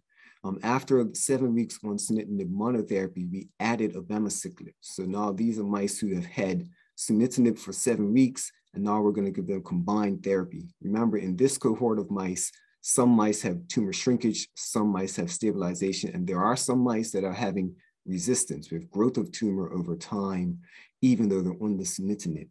And what we see is that when you add abemaciclib to those mice, again, you get a rapid reduction in tumor size with continued slower reduction in tumor size over time, even in the mice that appeared to have resistance to sunitinib. We thought that was a very interesting finding. And so based on these data and other data that I didn't have time to show you, um, we opened a clinical trial um, to target renal, PIM1 and renal cell carcinoma, where patients are receiving sunitinib, sorry, sunitinib and abemaciclib. Um, these are patients who have metastatic disease, who have already had immunotherapy and a targeted kinase inhibitor. Um, so for many patients, this is second or third line therapy. This is a phase one study because these drugs have not been combined in humans before, although separately, they are FDA approved, um, but not in combination. And so as a phase one study, we're mainly evaluating safety and tolerability. Um, but the plan is once we prove that it, that it is a safe and tolerable drug combination, we do plan to move on to a phase two study to formally evaluate for efficacy. Of course, we have many clinical correlates, which I don't have time to talk about right now, but um, one of those which is important to us is evaluating whether PIM1 expression is a biomarker for responses. So do patients who have increased levels of PIM1 protein or mRNA in their tumor, do those patients respond better or more likely respond to the combination therapy, um, or is there any association at all with PIM1 expression? Of course, we are very interested and pursuing in the lab what are the upstream drivers of PIM1 expression and what are the downstream substrates of PIM1 expression in renal cell carcinoma. And we think the answers to both of those questions will elucidate for us additional targets for renal cell carcinoma and thereby broaden the therapies that we can use in the clinic to continue to improve um, survival rates and control rates for patients in the clinic. Um, there are several people that I want to acknowledge um, at the Cancer Center at Brown University. Um, I'm showing you here several people who were instrumental in recruiting me here from Penn State and helping me to be able to open that clinical trial here at Brown. So it was open at Penn State before I moved here. I recently moved here just a few months ago. Um, we hope to have that study open here at Lifespan uh, very, very soon. And so look out for that study. Um, and so these are several people that were involved in that process. And then at Penn State, these were people who were instrumental in having the study open there. Eli Lilly is funding this phase one study and the American Cancer Society uh, through their IRG mechanism um, funded much of the basic science work that went that uh, preceded the clinical trial that we just discussed. And with that, I will take some time for questions. All right, excellent. Thank you very much, Sheldon. Great talk. Um, we can open it up for questions. Um, let me just check the chat box. The chat box, I'm not seeing any questions. I, I have a question about, you know, some of the studies you, you, you showed with your um, sunitinib and your abemaciclib. I hope I pronounced those right. Um, so uh, were those PIM1 positive or negative or CDK4/6 positive or negative? So how do, how do you determine whether the effects you're observing are dependent on PIM1 versus CDK4/6 or both? Yeah, that's a great question. Uh, so I skipped over some of that information uh, for time, but uh, I, I, believe you're talking about these data that I'm showing here from yes. the mouse study. Um, so these actually were um, xenograft tumors in the mice. So we used a cell line called 786-0. This is a cell line that has increased expression of PIM1. Um, so we know from the um, from that evaluation in the lab uh, that, and other people have shown that PIM1 is increased in that cell line. We didn't formally evaluate um, CDK4-6 but what we are currently doing in the lab is trying to get at that question. Uh, because abemaciclib is an inhibitor of CDK4-6 and PIM1, how much of this effect is due to its CDK4-6 activity? How much of this effect is due to its PIM1 activity? I can tell you that some other um, CDK4-6 inhibitors that don't have PIM1 activity, we don't see the same kind of um, effect in cell lines okay. that we do for abemaciclib. Um, but we're also um, in the process of doing some more nucleic acid um, so things like knocking down PIM1 versus CDK and seeing if we can tease out um, whether the effect is all PIM1 or CDK or actually a combination of both. Um, there, is, there is some data from other labs that targeting CDK4-6 um, can also be efficacious um, in renal cell carcinoma. So there might be uh, some benefit of both hitting CDK4-6 and PIM1 um, okay. in renal cell carcinoma. And, and, and, so for this clinical trial, that it seems like this is ongoing. Um, yes. So, so what are your selection criteria for patients for this trial? And are, are you assessing PIM1 mutational status and, and, and other things prior to enrollment in this trial? Um, so to be eligible for the study, it's a phase one study. So really to be eligible, you only have to have had prior immunotherapy, which is standard of care, and prior um, VEGF targeted um, therapy, so something like sunitinib or one of the other new drugs that are currently available like cabozantinib. So if patients have had immunotherapy and a targeted therapy and the tumor has progressed through both of those, yeah. then patients are eligible for this study. Okay. Um, we are not, patients do not have to have, have proven increased PIM1 expression in order to be eligible, but we are evaluating tissue okay. and, and other, um, you know, body fluids um, for PIM1 and some other potential biomarkers. Okay, okay, interesting. All right. Um, do we have any additional questions for Sheldon? Okay, I, I, I don't see any coming. Um, what I'd like to do now is, because we, we have a little bit of time, well, actually we've got, just got five minutes, is invite all of the um, speakers to come back on um, if they want to um, put on their videos and uh, just open it up for discussion. Um, everyone's available. If, if anyone has any questions for any of the speakers, any comments for any of the speakers, that would be that would be um, good. Um, one of the things I was kind of intrigued by, uh, you know, so we had two talks that focused on maybe AML and in particular pediatric AML. And, and one of the things that's very interesting about that is that, you know, the mutational burden of pediatric AML seems to be quite low. And that seems to be a barrier to effective treatment, right? Which is in, in some ways counterintuitive, but but it is what it is. Um, it, is there any way to overcome that? Is there any way to deliberately make a tumor more, to create a higher mutational burden in a tumor to make it more um, amenable to maybe, let's say, a, a treatment like immunotherapy? Is that something that could even be considered? You know, if anyone wants to comment on that. Not sure Sonali's back on or not. Um, so I think one of the things we're finding is that the muta- the somatic mutation burden is low in DNA, um, but I don't think we fully appreciate the somatic landscape in RNA.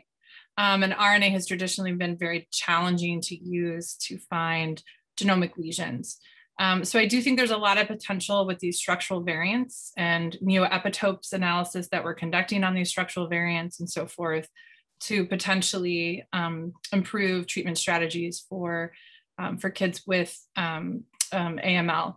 Um, and Sonali's work has also focused on overexpression of molecules and again, things like that where we do think the signature is going to be very value. The RNA signature is probably going to be much more valuable than the DNA signature for designing therapies and, and targeted treatments. Okay, very good. Um, I had a question for Adam that I kind of held back just uh, because of time constraints. Um, so Adam, you, you mentioned the prophylaxis treatment with methotrexate. Um, and you know, I was I was just curious about that. Is is is there a uh, a rational kind of mechanistic reason as to why they do that? And it, it seems like it's not particularly effective. And and I don't know if you maybe want to comment on the the rationale for that approach. Yeah, I think um, there is a good rationale for it. There's, at, at very, very high doses, at lethal doses, methotrexate penetrates into the CNS and can actually cure the CNS lymphoma um, when you give like doses of 100 times over what normally would be tolerable by a human. Um, the, the there's a, there's just never it has never been studied prospectively for the purpose of prophylaxis. So it's actually quite effective when combined with treatment for CNS lymphoma or for Burkitt's lymphoma. Uh, but the studies that use it for prophylaxis are very mixed. There, there's really uh, at least 10 different studies in the past uh, five or 10 years, and some show benefit, others show zero benefit, and they're all retrospective. And um, I think in the past two years, most studies should know benefit. And this morning I looked at one and, and there is a benefit. Mm-hmm. So really, unless there's a prospective study, we can't say it retros retrospectively. Um, it is it is particularly effective um, against this um, MCD lymphoma, which some, you know, it's, it's an anti-metabolite and some aggressive lymphoma just don't care about it really. And the methotrexate has no activity against them. So it, it, probably is effective for this subgroup of primary CNS lymphomas that are uh, dependent on um, or sensitive to anti, anti-folates metabolites. Okay. But others don't. It's a problem. It probably has to be combined with other agents really to achieve true cure and, and, and good prophylaxis. All right. Thank you. Yeah, thanks. Um, anyone, any additional comments or questions in the remaining one or two minutes? I like to make a comment about the AML, even though maybe I'm just doing it very peripherally, but there's a price to pay for more mutations, which is the tumors are more disorganized. So actually low mutation tumors are maybe more amenable to targeted driver inhibition, like with IDH1 uh, or APML, and then you don't really need a high uh, mutation burden. For immunotherapy, it's, it's probably better to be disorganized and have a lot of new mm-hmm. antigens. Um, but a lot of pediatric AMLs or, or young adult AMLs with uh, binding factor uh, mutations, they're just highly curable at this point, and it's going to be hard to improve on any treatment. Okay. All right, thank you. All right, we're at um, 11.30, so we're at the end of the allocated time. Um, I want to say sincere thanks to all of the speakers. Um, really enjoyed all of the talks. Um, Sherine, thank you very much for co-chairing this, this um, session. Uh, and thanks to all of the the audience for um, tuning in and, and, and, listening along. So um, I wish you guys all the best. Uh, enjoy the rest of the meeting and thank you very much.